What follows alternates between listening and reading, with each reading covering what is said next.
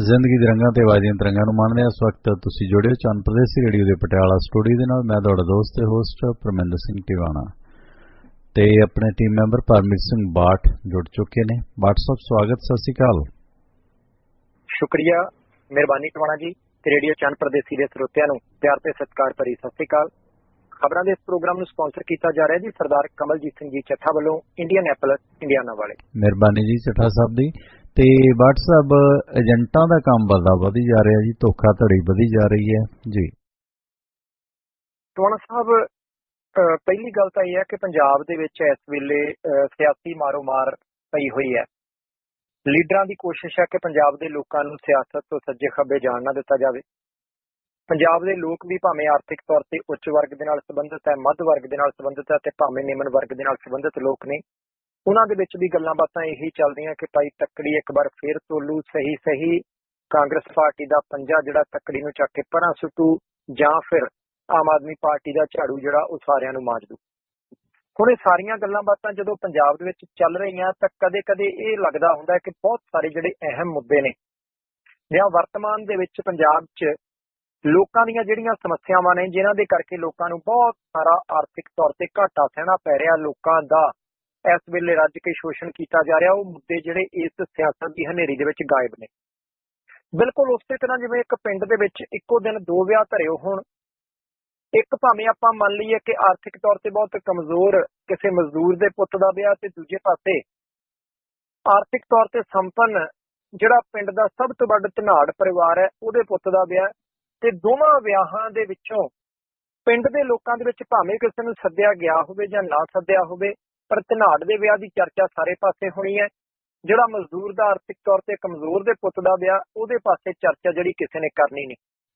ਗੱਲਾਂ ਲੋਕਾਂ ਨੇ ਵੀ ਇਹੀ ਕਰੇ ਜਾਣੀਆਂ ਕਿ ਭਾਈ ਉੱਥੇ ਬਰਾਤ ਹੀ ਨਹੀਂ ਜਾਣੀ ਹੈ, ਸ਼ਮਿਆਨਾ ਬਹੁਤ ਵੱਡਾ ਲਾਇਆ, ਇੰਨੀਆਂ ਗੱਡੀਆਂ ਜਿਹੜੀਆਂ, ਇੱਕ ਦਿਨ ਪਹਿਲਾਂ ਸਮਾਗਮ ਤੇ ਆ ਗਈਆਂ, ਇੰਨੇ ਬੰਦੇ ਜਿਹੜੇ ਆ ਸ਼ਗਨ ਪਾਉਣ ਆ ਗਏ ਆ ਦੇ ਗਏ, ਉਹ ਦੇ ਗਏ।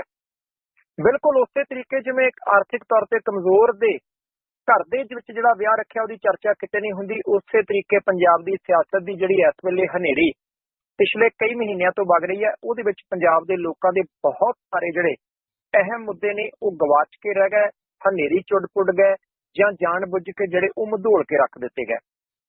ਇਸੇ ਤਰ੍ਹਾਂ ਦਾ ਇੱਕ ਮੁੱਦਾ, ਜਾਲੀ ਏਜੰਟਾਂ ਦੇ ਕਾਰੋਬਾਰ ਦਾ ਮੁੱਦਾ।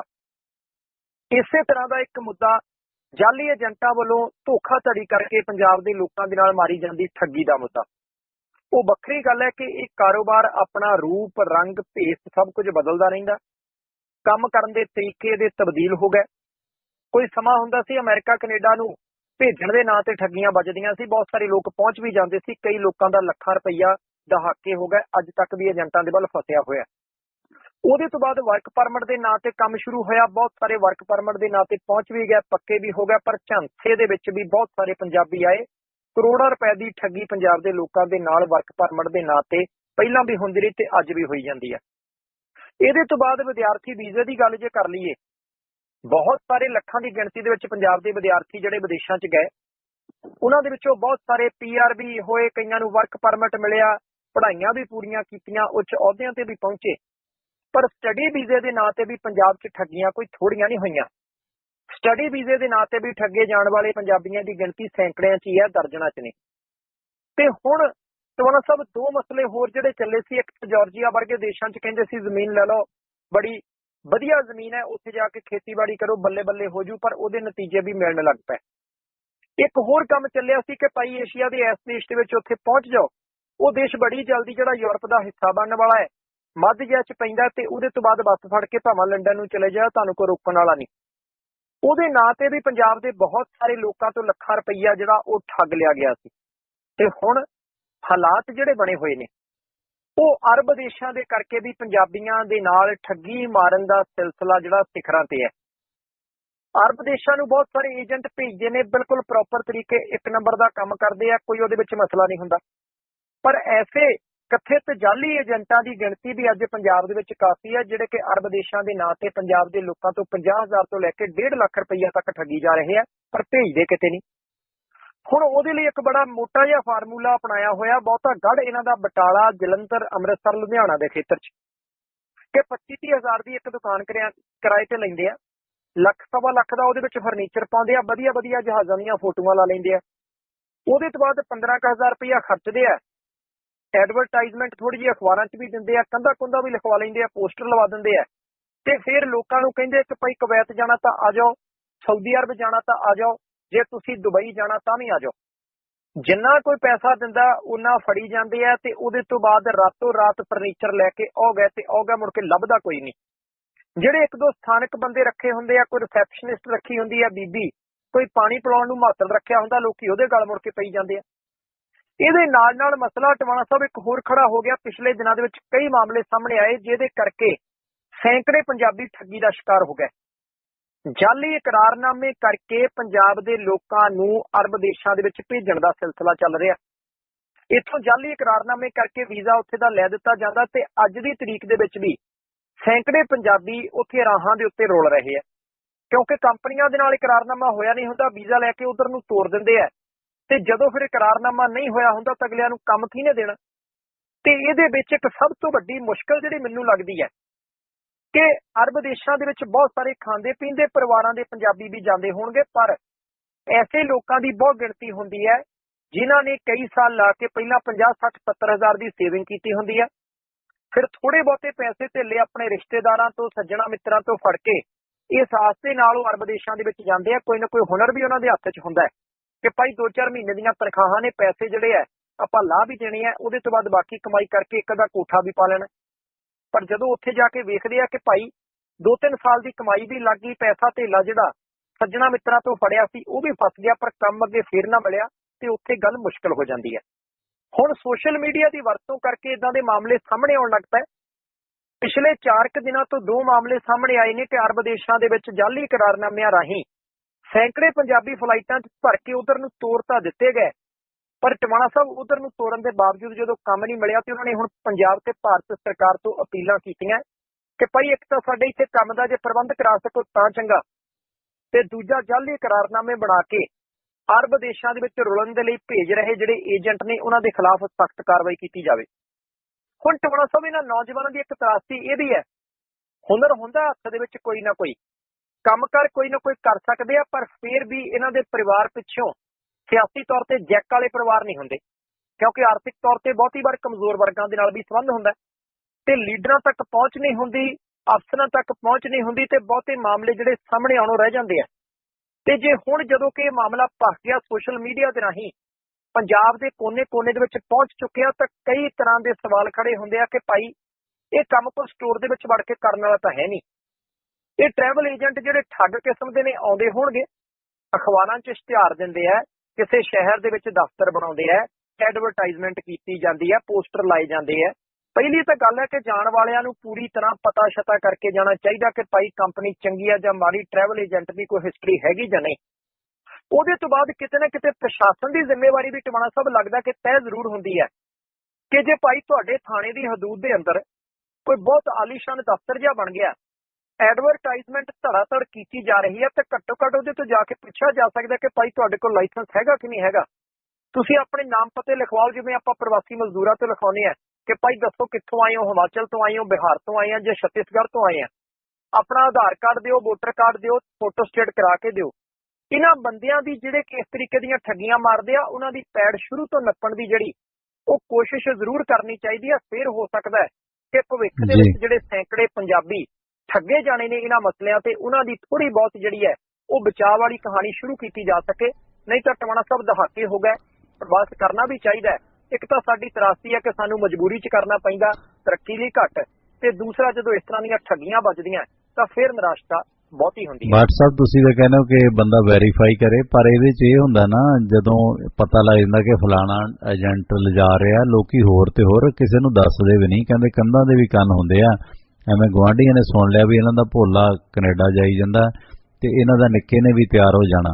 ਮੰਨ ਲਓ ਰਿਸ਼ਤਿਆਂ ਤੋਂ ਚੋਰੀ, ਘਰਾਂ ਚੋਂ ਚੋਰੀ ਚੋਰੀ ਚੋਰੀ, ਟੈਚੀ ਖਰੀਦ, ਖੰਮਣੀਆਂ ਬੰਨ ਤੇ ਦਹੀਂ ਚ ਚੀਨੀ ਪਾ ਕੇ, ਖਵਾ ਕੇ ਜਹਾਜ਼ ਚੜਾ ਦਿੰਦੇ ਆ, ਉਦੋਂ ਹੀ ਪਤਾ ਲੱਗਦਾ ਜਦੋਂ ਸਾਇਲੈਂਟ ਲਾ ਦਿੰਦੇ ਅਗਲੇ। ਸੋ ਇਹ ਮਤਲਬ ਅਸੀਂ ਜਿਹੜੀ ਪਰਦੇਦਾਰੀ ਕਿਸੇ ਨੂੰ ਪੁੱਛਣ ਦੀ ਬਜਾਏ ਨਾ ਕਿ ਸਾਨੂੰ ਹੀ ਪਤਾ ਨਹੀਂ ਰੱਬ ਮਿਲ ਗਿਆ। ਬਾਕੀ ਨੂੰ ਤਾਂ ਦੱਸਣ ਦੀ ਲੋੜ ਨਹੀਂ ਹੈ ਤਾਂ ਹੀ ਲੋਕ ਲੁੱਟੇ ਜਾਂਦੇ ਆ। ਤੇ ਅਗਲੀ ਗੱਲ ਕਰਦੇ ਆ ਜੀ ਆਪਾਂ ਸਰਕਾਰੀ ਸਕੂਲਾਂ ਦੇ ਵਿੱਚ ਪ੍ਰੀ ਨਰਸਰੀ ਜਮਾਤਾਂ ਦਾ ਮਾਮਲਾ। ਜੀ। ਟਵਾਣਾ ਸਾਹਿਬ, ਆਪਾਂ ਗੱਲ ਪੰਜਾਬ ਤੋਂ ਸ਼ੁਰੂ ਕਰਨੀ ਹੈ ਤੇ ਭਾਰਤ ਤੱਕ ਲੈ ਕੇ ਜਾਣੀ ਹੈ। ਪੰਜਾਬ ਦੇ ਵਿੱਚ ਸਰਕਾਰੀ ਸਿੱਖਿਆ ਦਾ ਹਾਲ ਤੋਂ ਬਹੁਤਾ ਹਾਂ ਪੱਖੀ ਨਹੀਂ, ਆਪਾਂ ਬਾਰ-ਬਾਰ ਰੇਡੀਓ ਚੰਨ ਪ੍ਰਦੇਸੀ ਦੇ ਸਰੋਤਿਆਂ ਨਾਲ ਚਰਚਾ ਕਰਦੇ ਰਹਿੰਦੇ ਹਾਂ। ਦੋ ਮਸਲਿਆਂ ਤੋਂ ਅਜੇ ਤੱਕ ਅਸੀਂ ਬਾਹਰ ਨਹੀਂ ਨਿਕਲ ਸਕੇ। ਅਸੀਂ ਕਿਵੇਂ ਕਹਿ ਸਕਦੇ ਹਾਂ ਕਿ ਪੰਜਾਬ ਸੂਬੇ ਦੇ ਵਿੱਚ ਸਿੱਖਿਆ ਦੇ ਹਾਲਾਤ ਚੰਗੇ ਨੇ? ਭਾਵੇਂ ਡਾਕਟਰ ਦਲਜੀਤ ਸਿੰਘ ਚੀਮਾ ਹੋਰਾਂ ਨੇ ਉਦਮ ਕੁਝ ਕੀਤੇ ਨੇ ਪਿਛਲੇ ਸਮੇਂ 'ਚ। ਹੁਣ ਪਹਿਲਾ ਮੁੱਦਾ, ਅਸੀਂ ਅਜੇ ਤੱਕ ਇਸੇ ਕੁੱਕੜਖੋ ਦੇ ਵਿੱਚ ਫਸੇ ਹੋਏ ਹਾਂ ਕਿ ਸਾਡੇ ਸਰਕਾਰੀ ਸਕੂਲਾਂ ਦੇ ਵਿੱਚ ਅਧਿਆਪਕਾਂ ਦੀ ਗਿਣਤੀ ਪੂਰੀ ਨਹੀਂ। ਦੂਜਾ ਮਸਲਾ, ਅਸੀਂ ਅਜੇ ਤੱਕ ਇਹ ਫੈਸਲਾ ਨਹੀਂ ਕਰ ਸਕੇ ਸਰਕਾਰੀ ਪੱਧਰ ਦੇ ਉੱਤੇ, ਗੈਰ ਸਰਕਾਰੀ ਪੱਧਰ ਦੇ ਉੱਤੇ ਕਿ ਅਧਿਆਪਕਾਂ ਨੂੰ ਗੈਰ ਵਿਦਿਅਕ ਕੰਮ ਦੇਣੇ ਚਾਹੀਦੇ ਆ ਕਿ ਨਹੀਂ। ਰਾਸ਼ਨ ਕਾਰਡ ਬਣਾਉਣ ਦਾ, ਢਾਉਣ ਦਾ ਕੰਮ ਉਹਨਾਂ ਤੋਂ ਲੈਣਾ ਵੋਟਾਂ ਬਣਾਉਣ ਦਾ, ਵੋਟਾਂ ਕੱਟਣ ਦਾ, ਵੋਟਾਂ 'ਚ ਸੋਧ ਕਰਨ ਦਾ ਕੰਮ ਉਹਨਾਂ ਤੋਂ ਲੈਣਾ ਜਾਂ ਨਹੀਂ ਕਹਿਣਾ। ਵੋਟਾਂ ਪਵਾਉਣ ਦਾ, ਵੋਟਾਂ ਗਣਾਉਣ ਦਾ ਕੰਮ ਉਹਨਾਂ ਤੋਂ ਲੈਣਾ ਜਾਂ ਨਹੀਂ ਲੈਣਾ। ਹੁਣ ਜਦੋਂ ਅਸੀਂ ਕਈ ਦਹਾਕਿਆਂ ਤੋਂ ਇਹਨਾਂ ਦੋ ਮਸਲਿਆਂ 'ਚ ਫਸੇ ਆਂ ਬਾਹਰ ਹੀ ਨਹੀਂ ਨਿਕਲ ਸਕੇ, ਤਾਂ ਅਸੀਂ ਕਦੋਂ ਵਿਦਿਆਰਥੀਆਂ ਦੇ ਲਈ ਲੋੜੀਂਦਾ ਵਿਦਿਅਕ ਵਾਤਾਵਰਣ ਸਿਰਜ ਸਕਾਂਗੇ? ਆਪਣੇ ਆਪ 'ਚ ਇੱਕ ਬਹੁਤ ਵੱਡਾ ਸਵਾਲ ਹੈ, ਕਿਉਂਕਿ ਜਿੰਨੀ ਦੇਰ ਸਾਡੇ ਸਕੂਲਾਂ ਦੇ ਵਿੱਚ ਵਿਦਿਆਰਥੀ ਦੇ ਅਨੁਕੂਲ ਵਾਤਾਵਰਣ ਨਹੀਂ ਸਿਰਜਿਆ ਜਾਂਦਾ, ਉਨੀ ਦੇਰ ਤਾਂ ਸਵਾਲ ਹੀ ਨਹੀਂ ਪੈਦਾ ਹੁੰਦਾ ਕਿ ਵਿਦਿਆਰਥੀ ਦਾ ਸਰਪੱਖੀ ਵਿਕਾਸ ਹੋ ਜਾਏ। ਕਿਉਂਕਿ ਉੱਥੇ ਬਹੁਤ ਹੁਸ਼ਿਆਰ ਵਿਅਕਤੀ ਨੇ ਵੀ, ਵਿਦਿਆਰਥੀ ਨੇ ਵੀ ਜਾਣਾ ਹੈ। ਉੱਥੇ ਮੇਰੇ ਵਰਗੇ ਉਹਨੇ ਵੀ ਜਾਣਾ ਹੈ ਜਿਹਨੂੰ ਅਧਿਆਪਕ ਚਾਰ ਵਾਰੀ ਸਮਝਾਵੇ ਤਾਂ ਸਮਝ ਲੱਗਣੀ ਹੈ। ਉੱਥੇ ਉਹਨੇ ਵੀ ਜਾਣਾ ਹੈ ਜਿਹੜਾ ਥੋੜਾ ਸ਼ਰਾਰਤੀ ਹੋਣਾ ਤੇ ਉੱਥੇ ਉਹਨੇ ਵੀ ਜਾਣਾ ਜਿਹੜਾ ਇਮੋਸ਼ਨਲ ਇਮੋਸ਼ਨਲੀ ਥੋੜਾ ਜਿਹਾ ਵੀਕ ਹੋਣਾ ਸੋ ਕਿਤੇ ਨਾ ਕਿਤੇ ਵਿਦਿਆਰਥੀਆਂ ਦੇ ਲਈ ਲੋੜੀਂਦਾ ਜਿਹੜਾ ਵਿਦਿਅਕ ਵਾਤਾਵਰਣ ਹੈ, ਉਹ ਸਕੂਲਾਂ ਦੇ ਵਿੱਚ, ਜਮਾਤਾਂ ਦੇ ਵਿੱਚ ਹੋਣਾ ਬਹੁਤ ਜ਼ਰੂਰੀ ਹੈ, ਜਿਹੜਾ ਕਿ ਅਸੀਂ ਅਜੇ ਤੱਕ ਦੇ ਨਹੀਂ ਸਕੇ। ਹੁਣ ਅਗਲੀ ਗੱਲ। ਪੰਜਾਬ ਦੇ ਵਿੱਚ ਤੇ ਭਾਰਤ ਦੇ ਵਿੱਚ ਸਰਕਾਰੀ ਸਕੂਲਾਂ 'ਚ ਪ੍ਰੀ ਨਰਸਰੀ ਜਮਾਤਾਂ ਸ਼ੁਰੂ ਕਰਨ ਲਈ ਚਰਚਾ ਵੱਡੀ ਪੱਧਰ ਤੇ ਚੱਲ ਰਹੀ ਹੈ। ਇੱਕ ਕਮੇਟੀ ਬਣੀ ਸੀ ਭਾਰਤ ਦੇ ਸਿੱਖਿਆ ਮੰਤਰੀਆਂ ਦੀ, ਅਗਵਾਈ ਕੀਤੀ ਸੀ ਡਾਕਟਰ ਦਲਜੀਤ ਸਿੰਘ ਚੀਮਾ ਹੋਰਾਂ ਨੇ। ਉਹਦੇ ਕਮੇਟੀ ਨੇ ਕਈ ਤਰ੍ਹਾਂ ਦੇ ਸੁਝਾਅ ਦਿੱਤੇ। ਸੁਝਾਅ ਦਿੱਤਾ ਸੀ ਕਿ 8ਵੀਂ ਤੇ 5ਵੀਂ ਦੀ ਪ੍ਰੀਖਿਆ ਦੁਬਾਰਾ ਸ਼ੁਰੂ ਕਰੋ। ਬਹੁਤ ਸਾਰੇ ਲੋਕਾਂ ਨੇ, ਬੁੱਧੀਜੀਵੀਆਂ ਨੇ, ਸਿੱਖਿਆ ਮਾਹਿਰਾਂ ਨੇ ਸਵਾਗਤ ਕੀਤਾ ਕਿ ਚੰਗੀ ਗੱਲ ਹੈ, ਨਹੀਂ ਤਾਂ ਬੇੜਾ ਗਰਕ ਹੋ ਗਿਆ ਸੀ। ਇੱਕ ਸੁਝਾਅ ਇਸ ਕਮੇਟੀ ਨੇ ਇਹ ਦਿੱਤਾ ਸੀ ਕਿ ਪ੍ਰੀ ਨਰਸਰੀ ਜਮਾਤਾਂ ਜਿਹੜੀਆਂ ਉਹ ਸਰਕਾਰੀ ਸਕੂਲਾਂ ਦੇ ਵਿੱਚ ਸ਼ੁਰੂ ਕੀਤੀਆਂ ਜਾਣ। ਹੁਣ ਸਵਾਲ ਇਹ ਪੈਦਾ ਹੁੰਦਾ ਕਿ ਨੀਤੀ ਤਾਂ ਮਨਜ਼ੂਰ ਹੋ ਹੀ ਜਾਣੀ ਹੈ, ਅੱਜ ਨਹੀਂ 6 ਮਹੀਨਿਆਂ ਨੂੰ ਹੋ ਜੂ। ਪਰ ਕੀ ਇਸ ਨੀਤੀ ਦਾ ਵਿਦਿਆਰਥੀਆਂ ਤੇ ਪ੍ਰਭਾਵ ਪਊਗਾ? ਕੀ ਪ੍ਰਭਾਵ ਪਏਗਾ ਲੋਕਾਂ ਤੇ ਤੇ ਕੀ ਪ੍ਰਭਾਵ ਪਏਗਾ ਪੰਜਾਬ ਤੇ ਭਾਰਤ ਦੇ ਵਿੱਦਿਆ ਦੇ ਮਿਆਰ ਦੇ ਉੱਤੇ? ਹੁਣ ਡਾਕਟਰ ਦਲਜੀਤ ਸਿੰਘ ਚੀਮਾ ਹੋਰਾਂ ਦੇ ਪੱਖ ਤੋਂ ਗੱਲ ਕਰੀਏ। ਉਹ ਕਹਿੰਦੇ ਕਿ ਅਸੀਂ ਕੰਪੀਟ ਹੀ ਨਹੀਂ ਕਰ ਪਾਉਂਦੇ, ਅਸੀਂ ਮੁਕਾਬਲਾ ਪ੍ਰਾਈਵੇਟ ਸਕੂਲਾਂ ਦਾ ਇਸ ਕਰਕੇ ਨਹੀਂ ਕਰ ਪਾਉਂਦੇ ਕਿਉਂਕਿ ਉਹ ਲੈ ਲੈਂਦੇ ਬੱਚਾ 3 ਸਾਲ ਦਾ। ਅਸੀਂ ਬੱਚੇ ਨੂੰ ਕਹਿੰਦੇ 4 5 ਜਾਂ 6 ਸਾਲ ਦਾ ਹੋਵੇ, ਫਿਰ ਸਾਡੇ ਕੋਲ ਆਵੇ। ਕਹਿੰਦੇ ਜਿਹੜਾ ਪਰਿਵਾਰ ਬੱਚੇ ਨੂੰ 3 ਸਾਲ ਦੀ ਉਮਰ 'ਚ ਪ੍ਰਾਈਵੇਟ ਸਕੂਲੇ ਪਾ ਦਿੰਦਾ ਹੈ ਉਹ ਸਾਨੂੰ 4 5 ਜਾਂ 6 ਸਾਲ ਦਾ ਬੱਚਾ ਕਿਉਂ ਦੇਗਾ ਪ੍ਰਾਈਵੇਟ ਸਕੂਲ ਦੇ ਵਿੱਚੋਂ ਹਟਾ ਕੇ ਕਿ ਸਰਕਾਰੀ ਸਕੂਲ 'ਚ ਅਸੀਂ ਪੜਾਉਣਾ ਹੈ? ਇਹਦੇ ਤੋਂ ਇਲਾਵਾ ਉਹਨਾਂ ਨੇ ਇਹ ਵੀ ਕਿਹਾ ਕਿ ਜੇ ਵੱਡੇ ਸਕੂਲਾਂ ਦੇ ਨਾਲ ਛੋਟੇ ਸਕੂਲ ਪ੍ਰੀ ਨਰਸਰੀ ਸਕੂਲ ਜੋੜ ਦਿੱਤੇ ਜਾਣਗੇ ਤਾਂ 4-5 ਪਿੰਡਾਂ ਦਾ ਸਾਂਝਾ ਸਕੂਲ ਹੋ ਜੂ ਅਸੀਂ ਆਸ-ਪਾਸ ਦੇ ਪਿੰਡਾਂ ਦੇ ਵਿੱਚੋਂ ਬੱਸਾਂ ਤੇ ਵਿਦਿਆਰਥੀ ਢੋਲਿਆ ਕਰਾਂਗੇ। ਫਿਰ ਕੰਪੀਟੀਸ਼ਨ ਵੀ ਹੋ ਜੂ ਵਿਦਿਆ ਦੇ ਨਾਲ ਛੋਟੇ ਵਿਦਿਆਰਥੀਆਂ ਦਾ ਨੀਡ ਵੀ ਹੋ ਜੂ ਚਲੋ ਗੱਲਾਂ ਬਾਤਾਂ ਡਾਕਟਰ ਦਲਜੀਤ ਸਿੰਘ ਚੀਮਾ ਹੋਰਾਂ ਨੇ ਆਪਣੇ ਪੱਖ ਤੋਂ ਕੀਤੀਆਂ, ਠੀਕ ਹੋ ਸਕਦੀਆਂ ਉਹਨਾਂ ਨੇ ਤੇ ਇਹ ਵੀ ਕਹਿ ਦਿੱਤਾ ਕਿ ਸਾਡੇ ਕੋਲ 14000 ਅਧਿਆਪਕ ਤਿਆਰ ਨੇ। ਅਸੀਂ 7000 ਸਕੂਲਾਂ ਦੇ ਵਿੱਚ ਤਾਂ ਆਉਣ ਵਾਲੇ ਵਿਦਿਅਕ ਵਰੇ ਤੋਂ ਇਹ ਕੰਮ ਜਿਹੜਾ ਉਹ ਸ਼ੁਰੂ ਕਰ ਸਕਦੇ ਹਾਂ। ਪਰ ਕੀ ਸੱਚਮੁੱਚ ਜ਼ਮੀਨੀ ਹਕੀਕਤਾਂ ਇਸ ਯੋਜਨਾ ਨੂੰ ਅਮਲੀ ਜਾਮਾ ਪਹਿਨਾਉਣ ਦੇ ਕਾਬਿਲ ਹੈਗੀਆਂ ਕਿ ਨਹੀਂ ਹੈਗੀਆਂ? ਪਹਿਲੀ ਗੱਲ ਇਹ ਕਿ ਪੰਜਾਬ ਦੀ ਜੇ ਗੱਲ ਕਰ ਲਈਏ ਤਾਂ ਪੰਜਾਬ ਦੇ ਸਰਕਾਰੀ ਸਕੂਲਾਂ ਦੇ ਵਿੱਚ ਬਿਲਡਿੰਗ ਦੀ ਅੱਜ ਵੀ ਘਾਟ ਹੈ, ਭਾਵੇਂ ਕਿ ਬਹੁਤੀਆਂ ਬਿਲਡਿੰਗਾਂ ਹੁਣ ਚੰਗੀਆਂ ਵੀ ਬਣੀਆਂ, ਸਰਵ ਸਿੱਖਿਆ ਅਭਿਆਨ ਦੇ ਅਧੀਨ ਗ੍ਰਾਂਟਾਂ ਵੀ ਆਈਆਂ ਪਰ ਫਿਰ ਵੀ ਜਿੰਨੀਆਂ ਜਮਾਤਾਂ ਅਸੀਂ ਪ੍ਰਾਇਮਰੀ ਸਕੂਲਾਂ ਦੇ ਵਿੱਚ ਉਹਨੇ ਕਮਰੇ ਨਹੀਂ ਦੇ ਸਕੇ। ਬਹੁਤ ਸਾਰੇ ਸਕੂਲਾਂ ਦੇ ਵਿੱਚ ਅੱਜ ਵੀ ਬਹੁਤ ਸਾਰੀਆਂ ਬਿਲਡਿੰਗਾਂ ਡਿੱਗਣ ਵਾਲੀਆਂ ਸੁਰੱਖਿਅਤ ਐਲਾਨੀਆਂ ਗਈਆਂ। ਵਿਦਿਆਰਥੀ ਅੱਜ ਵੀ ਕਈ ਸਕੂਲਾਂ ਦੇ ਵਿੱਚ ਦਰਖਤਾਂ ਦੇ ਹੇਠ ਪੜ੍ਹਦੇ ਆ। ਬਹੁਤ ਸਾਰੇ ਜ਼ਿਲ੍ਹਿਆਂ ਦੇ ਸਿੱਖਿਆ ਅਧਿਕਾਰੀ ਵੀ ਮੰਨਦੇ ਆ ਤੇ ਵਿੱਚ ਵਿਚਾਲੇ ਸਿੱਖਿਆ ਮੰਤਰੀ ਵੀ ਮੰਨ ਲੈਂਦੇ ਆ। ਹੁਣ ਜਦੋਂ ਕਮਰਿਆਂ ਦੀ ਸਾਡੇ ਕੋਲ ਪਹਿਲੇ ਹੀ ਘਾਟ ਹੈ ਕਿ ਜੇ ਅਸੀਂ ਪ੍ਰੀ ਨਰਸਰੀ ਜਮਾਤਾਂ ਸ਼ੁਰੂ ਕਰ ਲਈਆਂ, ਬੱਚੇ ਬਿਠਾਉਣੇ ਕਿੱਥੇ ਆ? ਉਹਦੇ ਤੋਂ ਇਲਾਵਾ ਇੱਕ ਹੋਰ ਬਹੁਤ ਅਹਿਮ ਮਸਲਾ ਕਿ ਮੰਨ ਲੈਨੇ ਇਸ ਵੇਲੇ 200 ਸਕੂਲ ਤਾਂ ਪੰਜਾਬ ਸਰਕਾਰ ਨੇ ਪਹਿਲੀ ਬੰਦ ਕਰਤੇ ਕਿ ਪਾਈ ਉੱਥੇ ਵਿਦਿਆਰਥੀਆਂ ਦੀ ਗਿਣਤੀ 20 ਤੋਂ ਘੱਟ ਹੈ।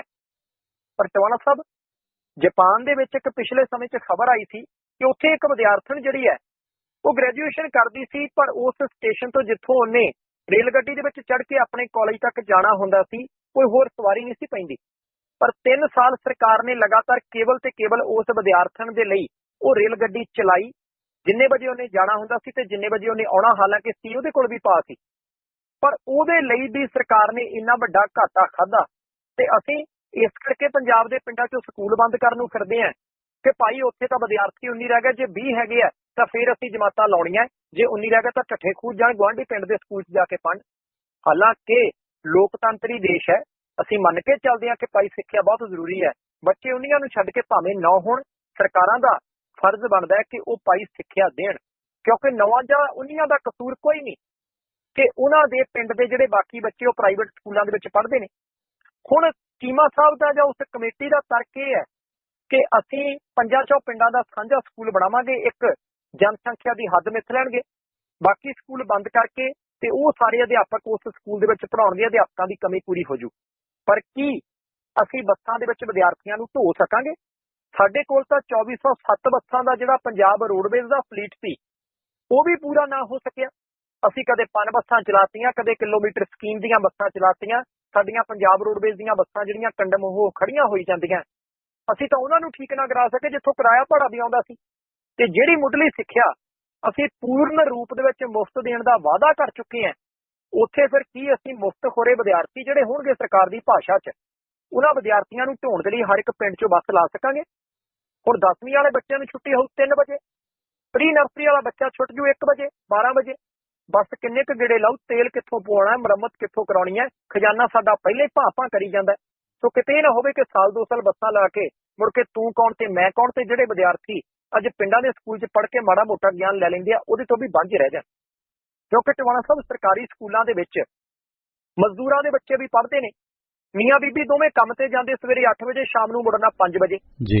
ਹੁਣ ਤਾਂ ਪਿੰਡ ਵਾਲੇ ਸਕੂਲ ਦੇ ਵਿੱਚ ਬੱਚੇ ਜਾਂਦੇ ਆ ਆਂਢੀ ਗੁਆਂਢੀ ਨਾਲ ਉਂਗਲੀ ਲਾ ਕੇ ਲੈ ਜਾਂਦੇ ਜਾਂ ਬੱਚੇ ਆਪੇ ਵੀ ਚਲੇ ਜਾਂਦੇ ਆ।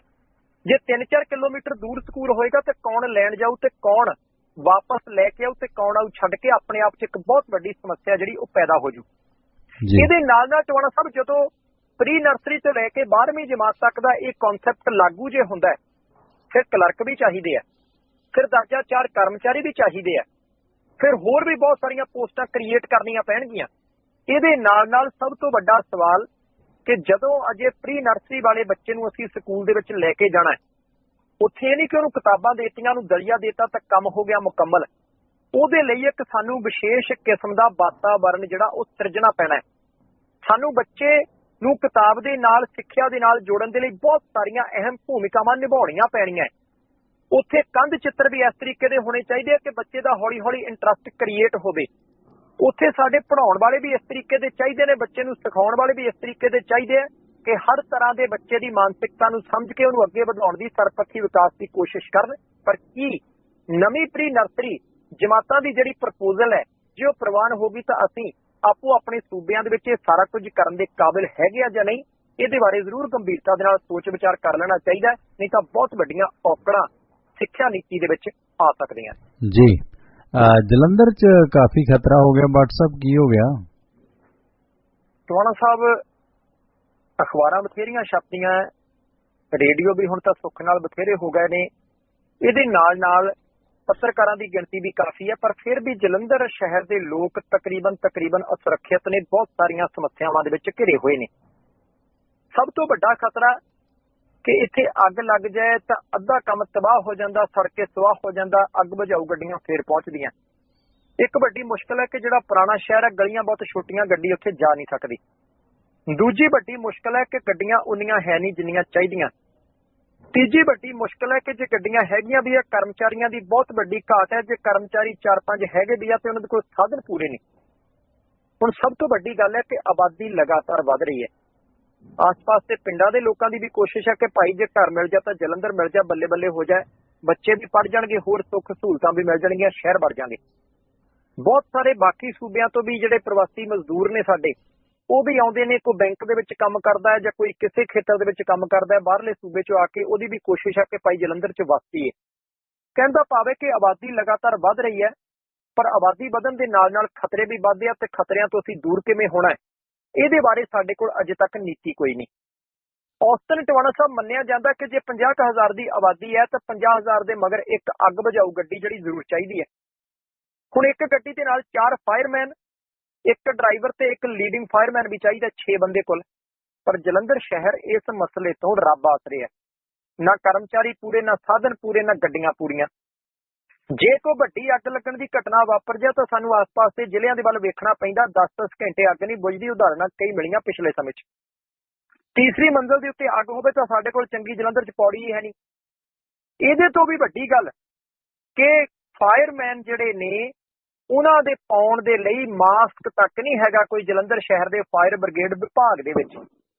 ਇਹਦੇ ਨਾਲ ਨਾਲ ਟਵਾਣਾ ਸਾਹਿਬ ਪੰਜ ਗੱਡੀਆਂ ਨੇ ਕੁੱਲ ਲੈ ਦੇ ਕੇ। ਉਹਨਾਂ ਦੇ ਵਿੱਚੋਂ ਵੀ ਇੱਕ ਦੀ ਹਾਲਤ ਬਹੁਤੀ ਮੰਦਲੀ ਹੈ। ਕੋਈ ਹਾਈਡ੍ਰੋਲਿਕ ਲਿਫਟ ਦਾ ਪ੍ਰਬੰਧ ਨਹੀਂ। ਤੇ ਜੇ ਥੋੜਾ ਜਿਹਾ ਪਿੱਛੇ ਚਲੇ ਜਾਈਏ 1966 ਦੇ ਵਿੱਚ ਜਦੋਂ ਭਾਸ਼ਾ ਦੇ ਆਧਾਰ ਤੇ ਪੰਜਾਬੀ ਸੂਬਾ ਬਣਿਆ ਸੀ, ਉਦੋਂ ਜਲੰਧਰ ਦੇ ਵਿੱਚ ਹਾਲਤ ਟਵਾਣਾ ਸਾਹਿਬ ਇੰਨੀ ਮਾੜੀ ਨਹੀਂ ਸੀ। ਉਦੋਂ ਕੁੱਲ ਜਲੰਧਰ ਸ਼ਹਿਰ ਦੇ ਵਿੱਚ 100 ਜਿਹੜੇ ਅੱਗ ਬੁਝਾਊ ਕਰਮਚਾਰੀ ਕੰਮ ਕਰਦੇ ਸੀ। ਉਦੋਂ 100 ਸੀ ਤੇ ਅੱਜ ਜਦੋਂ 50 ਬਾਰੇ ਪੂਰੇ ਹੋ ਗਏ ਤਾਂ 100 ਦੀ ਗਿਣਤੀ ਘਟ ਕੇ ਰਹਿ ਗਈ 25 75 ਗਾਇਬ ਹੋ ਗਏ, ਦੁਬਾਰਾ ਭਰਤੀ ਨਹੀਂ ਕੀਤੀ ਸੁੱਖ ਨਾਲ ਉਹਨਾਂ 25 ਦੇ ਵਿੱਚੋਂ ਵੀ 12 ਪੱਕੇ ਆ ਤੇ 13 ਕੱਚੇ ਆ। ਹੁਣ ਟਵਾਣਾ ਸਾਹਿਬ ਹੱਦ ਉਦੋਂ ਹੋ ਗਈ ਕਿ ਗੱਡੀਆਂ ਸਾਡੇ ਕੋਲ ਜਲੰਧਰ 'ਚ ਨੇ 5 ਉਹਦੇ ਵਿੱਚੋਂ ਵੀ ਔਸਤਨ ਦੋ ਗੱਡੀਆਂ ਜਿਹੜੀਆਂ ਉਹ ਵੀਆਈਪੀ ਲੋਕ ਜਿਹੜੇ ਨੇ, ਉਹਨਾਂ ਦੀ ਸੁਰੱਖਿਆ ਦੇ ਵਿੱਚ ਲੱਗੀਆਂ ਰਹੀਆਂ ਕਿ ਭਾਈ ਕਾਫਲਾ ਲੰਘਣਾ ਨਾਲ ਨਾਲ ਤੁਰਦੇ ਆ। ਹੁਣ ਇੱਕ ਬੰਦੇ ਦੀ ਸੁਰੱਖਿਆ ਕਰ ਲਓ, ਬਾਕੀ ਲੱਖਾਂ ਜਲੰਧਰੀਏ ਜਿਹੜੇ ਆ, ਉਹਨਾਂ ਨੂੰ ਰੱਬ ਆਸਰੇ ਛੱਡ ਦਿਓ ਕਿ ਭਾਈ ਹੋ ਗਿਆ ਹੋ ਗਿਆ, ਰਹਿ ਗਿਆ ਰਹਿ ਗਿਆ। ਸੋ ਵੇਖਦੇ ਆ ਜੀ ਕਿ ਆਉਣ ਵਾਲੇ ਦਿਨਾਂ ਦੇ ਵਿੱਚ ਇਸ ਮਸਲੇ ਦੇ ਉੱਤੇ ਵੀ ਪੰਜਾਬ ਸਰਕਾਰ ਦਾ ਮਾੜਾ ਮੋਟਾ ਧਿਆਨ ਜਾਂਦਾ ਜਾਂ ਫਿਰ ਖਤਰਿਆਂ ਦੇ ਨਾਲ ਜਲੰਧਰ ਤੇ ਬਾਕੀ ਪੰਜਾਬ ਦੇ ਲੋਕਾਂ ਨੂੰ ਜੂਝਦੇ ਰਹਿਣ ਦੇ ਲਈ ਇਕੱਲਿਆਂ ਛੱਡ ਦਿੱਤਾ ਜਾਂਦਾ ਹੈ। ਬਾਟ ਸਾਹਿਬ ਖਰੀਦੇ ਆ ਇਹਨਾਂ ਨੇ 90 ਕੁ ਫਾਇਰ ਟੈਂਡਰ ਖਰੀਦੇ ਆ ਜ਼ਿਆਦਾ ਮੋਹਾਲੀ ਚ ਲਾਏ ਨੇ ਦੋ ਤਿੰਨ ਤਾਂ। ਤੇ ਸਾਹਿਬ। ਜੇ ਕਿਤੇ ਸੁਨੀਲ ਜਾਖੜ ਹੋਰੀ ਨਾ ਪਟੀਸ਼ਨ ਕਰਦੇ ਤਾਂ ਆਉਣੀਆਂ ਉਹ ਵੀ ਨਹੀਂ ਸੀ। ਹਾਂ ਉਹ ਐਕਚੁਅਲੀ ਹੁਣ ਤਾਂ ਵਿਚਾਰਾਂ ਦਾ ਹੀ ਕੰਮ ਹੋਣੇ ਆ ਵੈਸੇ ਨਹੀਂ ਤਾਂ ਕਿਉਂਕਿ ਦੀਵਾਲੀ ਨੂੰ ਅੱਗੋਂ ਕਿ ਲੱਗਦੀ ਹੈ ਮਾੜੀ ਮੋਟੀ ਉਦਾਂ ਤਾਂ ਵੈਸੇ ਤਾਂ ਉਹ ਮੁੱਖ ਮੰਤਰੀ ਦੇ ਕਾਫਲੇ ਨਾਲ ਰਹਿੰਦੀਆਂ ਦੋ ਚੌਂ ਗੱਡੀਆਂ ਤਾਂ। ਅੱਗ। ਬੁਝਾਉਣ ਦੇ ਲਈ ਬਾਕੀ ਲੀਡਰਾਂ ਨਾਲ ਰਹਿੰਦੀਆਂ। ਪਤਾ ਨਹੀਂ ਕਿੱਥੇ ਅੱਗ ਲਾ ਦੇਣੀ ਇਹਨਾਂ ਨੇ ਇਸ ਕਰਕੇ ਅੱਗ ਬੁਝਾਊ ਗੱਡੀ ਚਾਹੀਦੀ ਇਹਨਾਂ ਦੇ ਨਾਲ ਹੈ ਨਾ ਚੰਗੀ ਗੱਲ ਹੈ। ਤੇ ਵੈਸੇ ਵੀ ਜਿਹੜੇ ਫਾਇਰ ਬ੍ਰਿਗੇਡ ਦੀ ਜਦੋਂ ਸਮੱਸਿਆ ਕਣਕ ਦੀ ਵਾਢੀ ਵੇਲੇ ਬਹੁਤ ਆਉਂਦੀ ਹੈ। ਤੇ ਇਸ ਦੇ ਨਾਲ ਨਾਲ ਅਗਰ ਗੱਲ ਕਰੀਏ WhatsApp ਆਪਾਂ ਅਗਲੀ ਖਬਰ ਦੀ ਅਕਾਲੀ ਦਲ ਨੇ ਆਪਣੀ ਰਣਨੀਤੀ ਨੂੰ ਫਾਈਨਲ ਕਰ ਦਿੱਤਾ ਜੀ ਇਸੇ ਦੀਵਾਲੀ ਨੂੰ ਦੀਵਾ ਜਗਾ ਦਿੱਤਾ। ਟਵਾਣਾ ਸਾਹਿਬ ਸ਼੍ਰੋਮਣੀ ਅਕਾਲੀ ਦਲ ਦੇ ਪ੍ਰਧਾਨ ਸੁਖਬੀਰ ਸਿੰਘ ਬਾਦਲ ਪਿਛਲੇ 6-7 ਸਾਲਾਂ ਤੋਂ ਲਗਾਤਾਰ ਕਹਿੰਦੇ ਆ ਰਹੇ ਨੇ ਕਿ ਅਸੀਂ 25 ਸਾਲ ਪੰਜਾਬ ਸੂਬੇ ਤੇ ਰਾਜ ਕਰਨਾ। ਤੇ ਜਦੋਂ 2012 ਦੀਆਂ ਵਿਧਾਨ ਸਭਾ ਚੋਣਾਂ ਅਨਾਉਂਸ ਹੋਈਆਂ ਸੀ ਤਾਂ ਉਦੋਂ ਵੀ ਉਹਨਾਂ ਦਾ ਵਾਅਦਾ ਇਹੀ ਸੀ, ਪਰ ਵਿਰੋਧੀ ਪਾਰਟੀਆਂ ਦੇ ਬਹੁਤ ਸਾਰੇ ਲੀਡਰ ਕਹਿੰਦੇ ਸੀ ਕਿ ਭਾਈ ਗੱਲਾਂ ਕਰਨ ਦੇ ਨਾਲ ਇਦਾਂ ਨਹੀਂ ਹੁੰਦਾ ਕਿ 25 ਸਾਲ ਤੱਕ ਹੀ ਆ 5 ਸਾਲ ਇਹਨਾਂ ਨੇ ਪੂਰੇ ਕਰ ਲਏ, ਇੰਨੇ ਬਹੁਤ ਹੈ। ਪਰ ਹੈਰਾਨੀਜਨਕ ਨਤੀਜਾ ਜਿਹੜਾ ਸ਼੍ਰੋਮਣੀ ਅਕਾਲੀ ਦਲ ਨੇ ਦਿੱਤਾ ਸੀ ਤੇ ਲਗਾਤਾਰ 9.5 ਸਾਲ ਤੋਂ ਉੱਪਰ ਦਾ ਸਮਾਂ ਹੋ ਚੱਲਿਆ। ਸ਼੍ਰੋਮਣੀ ਅਕਾਲੀ ਦਲ ਬਾਦਲ ਤੇ ਭਾਜਪਾ ਦੀ ਸਰਕਾਰ ਜਿਹੜੀ ਆ, ਉਹ ਪੰਜਾਬ 'ਚ ਚੱਲ ਰਹੀ ਹੈ। ਸਿਆਸੀ ਇਤਿਹਾਸ ਦੇ ਵਿੱਚ ਪਹਿਲੀ ਵਾਰ ਹੋਇਆ ਕਿ ਸ਼੍ਰੋਮਣੀ ਅਕਾਲੀ ਦਲ ਦੀ ਸਰਕਾਰ ਜਿਹੜੀ ਹੈ, ਉਹ ਲਗਾਤਾਰ ਦੋ ਟਰਮਾਂ ਪੰਜਾਬ ਦੇ ਵਿੱਚ ਰਾਜ ਕਰਦਾ ਹੈ। ਤੇ ਹੁਣ ਇੱਕ ਵਾਰ ਫੇਰ ਸੁਖਬੀਰ ਸਿੰਘ ਬਾਦਲ ਹੋਰਾਂ ਨੇ 25 ਸਾਲ ਰਾਜ ਕਰਨ ਦਾ ਜਿਹੜਾ ਉਹਨਾਂ ਦਾ ਦਾਅਵਾ ਤੇ ਵਾਅਦਾ ਹੈ, ਉਹਦੇ ਵੱਲ ਧਿਆਨ ਦੇ ਕੇ ਕੰਮ ਸ਼ੁਰੂ ਕਰ ਦਿੱਤਾ। ਮੀਟਿੰਗਾਂ ਲਗਾਤਾਰ ਹੋ ਰਹੀਆਂ, ਕੁਝ ਮੀਡੀਆ ਦੇ ਸਾਹਮਣੇ ਹੋ ਰਹੀਆਂ, ਕੁਝ ਮੀਡੀਆ ਦੇ ਓਲੇ ਹੋ ਰਹੀਆਂ। ਤੇ ਇਹਨਾਂ ਮੀਟਿੰਗਾਂ ਦੇ ਵਿੱਚੋਂ ਜੋ ਕੁਝ ਨਿਕਲ ਕੇ ਸਾਹਮਣੇ ਆਇਆ, ਜੋ ਕੁਝ ਪਤਾ ਲੱਗਿਆ, ਉਹ ਇਹ ਹੈ ਕਿ ਜਿਹੜੇ ਸਰਵੇਖਣ ਅਕਾਲੀ ਦਲ ਨੇ ਆਪਣੇ ਤੌਰ ਤੇ ਕਰਾਏ ਆ, ਜਿਹਦੇ ਵਿੱਚੋਂ ਪਤਾ ਲੱਗਿਆ ਕਿ ਕਿਹੜੇ ਵਿਧਾਨ ਸਭਾ ਹਲਕੇ ਦੇ ਵਿੱਚ ਸਥਿਤੀ ਮਜ਼ਬੂਤ ਹੈ ਤੇ ਕਿਹੜੇ ਹਲਕੇ ਦੇ ਵਿੱਚੋਂ ਸਥਿਤੀ ਜਿਹੜੀ ਕਮਜ਼ੋਰ ਹੈ। ਉਸ ਤਰੀਕੇ ਦੇ ਨਾਲ ਇਹ ਸਪਸ਼ਟ ਹੋ ਗਿਆ ਕਿ ਕਈ ਵਿਧਾਇਕਾਂ ਦੀਆਂ ਟਿਕਟਾਂ ਕੱਟੀਆਂ ਜਾਣਗੀਆਂ, ਕਈ ਹਲਕਾ ਇੰਚਾਰਜ ਜਿਹੜੇ ਆ, ਉਹਨਾਂ ਨੂੰ ਵੀ ਟਿਕਟਾਂ ਤੋਂ ਵਾਂਝੇ ਕਰ ਦਿੱਤਾ ਜਾਣਾ। ਤੇ ਸਿੱਧੇ ਤੌਰ ਤੇ ਸੁਖਬੀਰ ਸਿੰਘ ਬਾਦਲ ਤੇ ਮੁੱਖ ਮੰਤਰੀ ਪੰਜਾਬ ਪ੍ਰਕਾਸ਼ ਸਿੰਘ ਬਾਦਲ ਹੋਰਾਂ ਨੇ ਇਹ ਹਦਾਇਤਾਂ ਦੇ ਦਿੱਤੀਆਂ ਆਪਣੇ ਅਕਾਲੀ ਦਲ ਦੇ ਜ਼ਿਲ੍ਹਾ ਪ੍ਰਧਾਨਾਂ ਨੂੰ, ਵਿਧਾਇਕਾਂ ਨੂੰ, ਹਲਕਾ ਇੰਚਾਰਜਾਂ ਨੂੰ ਕਿ ਭਾਈ ਤੁਸੀਂ ਫੋਕਸ ਇੱਕੋ ਗੱਲ ਤੇ ਰੱਖਣਾ ਹੈ। ਉਹ ਫੋਕਸ ਹੈਗਾ ਪੰਜਾਬ ਸਰਕਾਰ ਵੱਲੋਂ ਕੀਤਾ ਗਿਆ ਵਿਕਾਸ। ਸਾਢੇ 9 ਸਾਲਾਂ ਦੀਆਂ ਪ੍ਰਾਪਤੀਆਂ ਨੂੰ ਕਹਿੰਦੇ ਲੋਕਾਂ 'ਚ ਜਾ ਕੇ ਰੱਖੋ ਤੇ ਨਾਲ ਦੀ ਨਾਲ ਇਹ ਵੀ ਆਖੀ ਜਾਓ ਕਿ ਕਾਂਗਰਸ ਤੇ ਆਮ ਆਦਮੀ ਪਾਰਟੀ ਵਾਲੇ ਜਿਹੜੇ ਉਹ ਕੂੜ ਪ੍ਰਚਾਰ ਕਰ ਰਹੇ ਆ। ਕਰਜ਼ਾ ਕਹਿੰਦੇ ਕਿਸਾਨਾਂ ਦਾ ਮਾਫ ਨਹੀਂ ਹੋਣਾ। ਤੁਹਾਨੂੰ ਸੱਜੇ ਖੱਬੇ ਲਿਜਾ ਕੇ ਵਰਗਲਾ ਰਹੇ ਆ ਆਪਣੇ ਲਾੜਿਆਂ ਲੱਪਿਆਂ 'ਚ ਲਿਆ ਰਹੇ ਆ ਤੇ ਸਰਕਾਰ ਬਣਾ ਕੇ ਉਹਨਾਂ ਨੇ ਤੁਹਾਡੀ ਬਾਤ ਨਹੀਂ ਪੁੱਛਣੀ। ਇਹਦੇ ਨਾਲ ਨਾਲ ਟਵਾਣਾ ਸਾਹਿਬ, ਹੁਣ ਪੂਰਾ ਜ਼ੋਰ ਜਿਹੜਾ ਸ਼੍ਰੋਮਣੀ ਅਕਾਲੀ ਦਲ ਦਾ ਲੱਗ ਜਾਣਾ ਚਾਰ ਪੰਜ ਵੱਡੇ ਇਕੱਠ ਕਰਨ ਦੇ ਉੱਤੇ। ਕਿਉਂਕਿ ਸੁਖਬੀਰ ਸਿੰਘ ਬਾਦਲ ਹੋਰਾਂ ਦਾ ਇਹ ਮੰਨਣਾ ਹੈ ਕਿ ਜੇ ਆਪਾਂ ਨਵੰਬਰ ਤੇ ਦਸੰਬਰ 2 ਮਹੀਨਿਆਂ ਦੇ ਵਿੱਚ ਠੋਕਵੇਂ ਇਕੱਠ ਚਾਰ ਪੰਜ ਜਗ੍ਹਾ ਦੇ ਉੱਤੇ ਕਰ ਦਿੱਤੇ, ਤਾਂ ਪੰਜਾਬ ਦੇ ਲੋਕਾਂ ਦੇ ਵਿੱਚ ਇਹ ਗੱਲ ਚਲੇ ਜਾਊਗੀ ਕਿ ਭਾਈ ਸ਼੍ਰੋਮਣੀ ਅਕਾਲੀ ਦਲ ਦੇ ਮਗਰ ਪੰਜਾਬ ਦੇ ਬਹੁਤ ਗਿਣਤੀ ਵੋਟਰ ਅਜੇ ਵੀ ਹੈਗੇ ਆ। ਪਹਿਲੀ ਨਵੰਬਰ ਨੂੰ ਜਾਨੀ ਕਿ ਕੱਲ ਨੂੰ ਅੰਮ੍ਰਿਤਸਰ ਦੇ ਵਿੱਚ ਪੰਜਾਬੀ ਸੂਬੇ ਦੇ ਨਾਲ ਸੰਬੰਧਿਤ ਸਮਾਗਮ ਹੈ, ਤਿਆਰੀਆਂ ਕੱਸੀਆਂ ਹੋਈਆਂ ਨੇ। ਭਾਵੇਂ ਕਿ ਸਮਾਗਮ ਸਰਕਾਰੀ ਪੱਧਰ ਤੇ ਮਨਾਇਆ ਜਾ ਰਿਹਾ ਹੈ, ਪਰ ਸ਼੍ਰੋਮਣੀ ਅਕਾਲੀ ਦਲ ਦੇ ਵਰਕਰਾਂ ਦੀਆਂ ਠੋਕੇ ਡਿਊਟੀਆਂ ਲੱਗੀਆਂ ਕਿ ਭਾਈ ਇਸ ਸਮਾਗਮ ਦੇ ਵਿੱਚ ਵਹੀਰਾਂ ਘੱਟ ਕੇ ਆਓ, ਵੱਧ ਤੋਂ ਵੱਧ ਲੋਕਾਂ ਨੂੰ ਲੈ ਕੇ ਆਓ। ਜਿਹਦੇ ਨਾਲ ਕਿ ਫਿਰ ਦੁਬਾਰਾ ਅਖਬਾਰਾਂ ਦੇ ਵਿੱਚ ਮੋਟੀਆਂ-ਮੋਟੀਆਂ ਖਬਰਾਂ ਛਪਣਗੀਆਂ ਵੱਡੀਆਂ ਵੱਡੀਆਂ ਤਸਵੀਰਾਂ ਇਸ਼ਤਿਹਾਰਾਂ ਦੇ ਰੂਪ ਦੇ ਵਿੱਚ ਛਪਵਾਈਆਂ ਜਾਣਗੀਆਂ ਕਿ ਭਾਈ ਆ ਵੇਖ ਲਓ, ਠਾਠਾ ਮਾਰਦਾ ਇਕੱਠ ਸ਼੍ਰੋਮਣੀ ਅਕਾਲੀ ਦਲ ਦੇ ਹੱਕ 'ਚ ਪੰਜਾਬ ਸਰਕਾਰ ਦੇ ਹੱਕ 'ਚ ਇਕੱਠਾ ਹੋਇਆ। ਫਿਰ 3 ਤਰੀਕ ਨੂੰ ਕਰਤਾਰਪੁਰ ਦੇ ਵਿੱਚ ਜੰਗੇ ਆਜ਼ਾਦੀ ਯਾਦਗਾਰ ਜਿਹੜੀ ਬਣਾਈ ਜਾ ਰਹੀ, ਉਹਦੇ ਇੱਕ ਹਿੱਸੇ ਦਾ ਉਦਘਾਟਨ ਮੁੱਖ ਮੰਤਰੀ ਸਾਹਿਬ ਨੇ ਆਪ ਕਰਨਾ ਕਰਤਾਰਪੁਰ ਦੇ ਵਿੱਚ। ਤੇ ਉਸ ਦਿਨ ਵੀ ਇਕੱਠ ਪੂਰਾ ਕਰਨ ਦੇ ਲਈ ਅੱਡੀ ਚੋਟੀ ਦਾ ਜ਼ੋਰ ਲਾਇਆ ਹੋਇਆ। ਉਸੇ ਦਿਨ ਪੰਜਾਬ ਭਰ ਦੇ ਵਿੱਚ ਕਾਂਗਰਸ ਪਾਰਟੀ ਦੇ ਕਈ ਲੀਡਰਾਂ ਦੇ ਪੁਤਲੇ ਸਾੜਨੇ ਅਕਾਲੀ ਦਲ ਨੇ। ਫਿਰ 27 ਨਵੰਬਰ ਦਾ ਇਕੱਠ ਰੱਖਿਆ ਗਿਆ। ਟਵਾਣਾ ਸਾਹਿਬ ਉਹ ਰੱਖਿਆ ਗਿਆ ਸ੍ਰੀ ਗੁਰੂ ਗੋਬਿੰਦ ਸਿੰਘ ਜੀ ਦੀ 350ਵੀਂ ਜਿਹੜੀ ਜਨਮ ਸ਼ਤਾਬਦੀ ਹੈ, ਉਹਦੇ ਸਬੰਧ ਵਿੱਚ ਸ੍ਰੀ ਅਨੰਦਪੁਰ ਸਾਹਿਬ ਦੀ ਧਰਤੀ ਤੇ। ਤੇ 8 ਦਸੰਬਰ ਨੂੰ ਇੱਕ ਮਹਾ ਰੈਲੀ ਕਰਨ ਦਾ ਐਲਾਨ ਸ਼੍ਰੋਮਣੀ ਅਕਾਲੀ ਦਲ ਨੇ ਕੀਤਾ ਹੋਇਆ ਮੋਗੇ 'ਚ। ਤੇ ਉਹ ਮੋਗੇ ਦੀ ਧਰਤੀ ਤੇ ਹੋ ਸਕਦਾ ਕਿ ਅਕਾਲੀ ਦਲ ਇਲੈਕਸ਼ਨ ਮੈਨੀਫੈਸਟੋ ਆਪਣਾ, ਉਹ ਵੀ ਜਾਰੀ ਕਰਦਾ ਹੈ 8 ਦਸੰਬਰ ਨੂੰ। ਕਿਉਂਕਿ ਅਕਾਲੀ ਦਲ ਦੇ ਬਹੁਤ ਸਾਰੇ ਲੀਡਰਾਂ ਦੇ ਮਨਾਂ ਦੇ ਵਿੱਚ ਇਹ ਗੱਲ ਬੈਠੀ ਹੋਈ ਹੈ ਕਿ ਜਦੋਂ ਜਦੋਂ ਵੀ ਉਹਨਾਂ ਨੇ ਆਪਣੀ ਸਿਆਸੀ ਮੁਹਿੰਮ ਦੀ ਆਰੰਭਤਾ ਜਿਹੜੀ ਹੈ ਉਹ ਮੋਗੇ ਦੀ ਧਰਤੀ ਤੋਂ ਕੀਤੀ ਹੈ ਤਾਂ ਪਾਰਟੀ ਨੂੰ ਕਦੇ ਹਾਰ ਨਹੀਂ ਮਿਲੀ।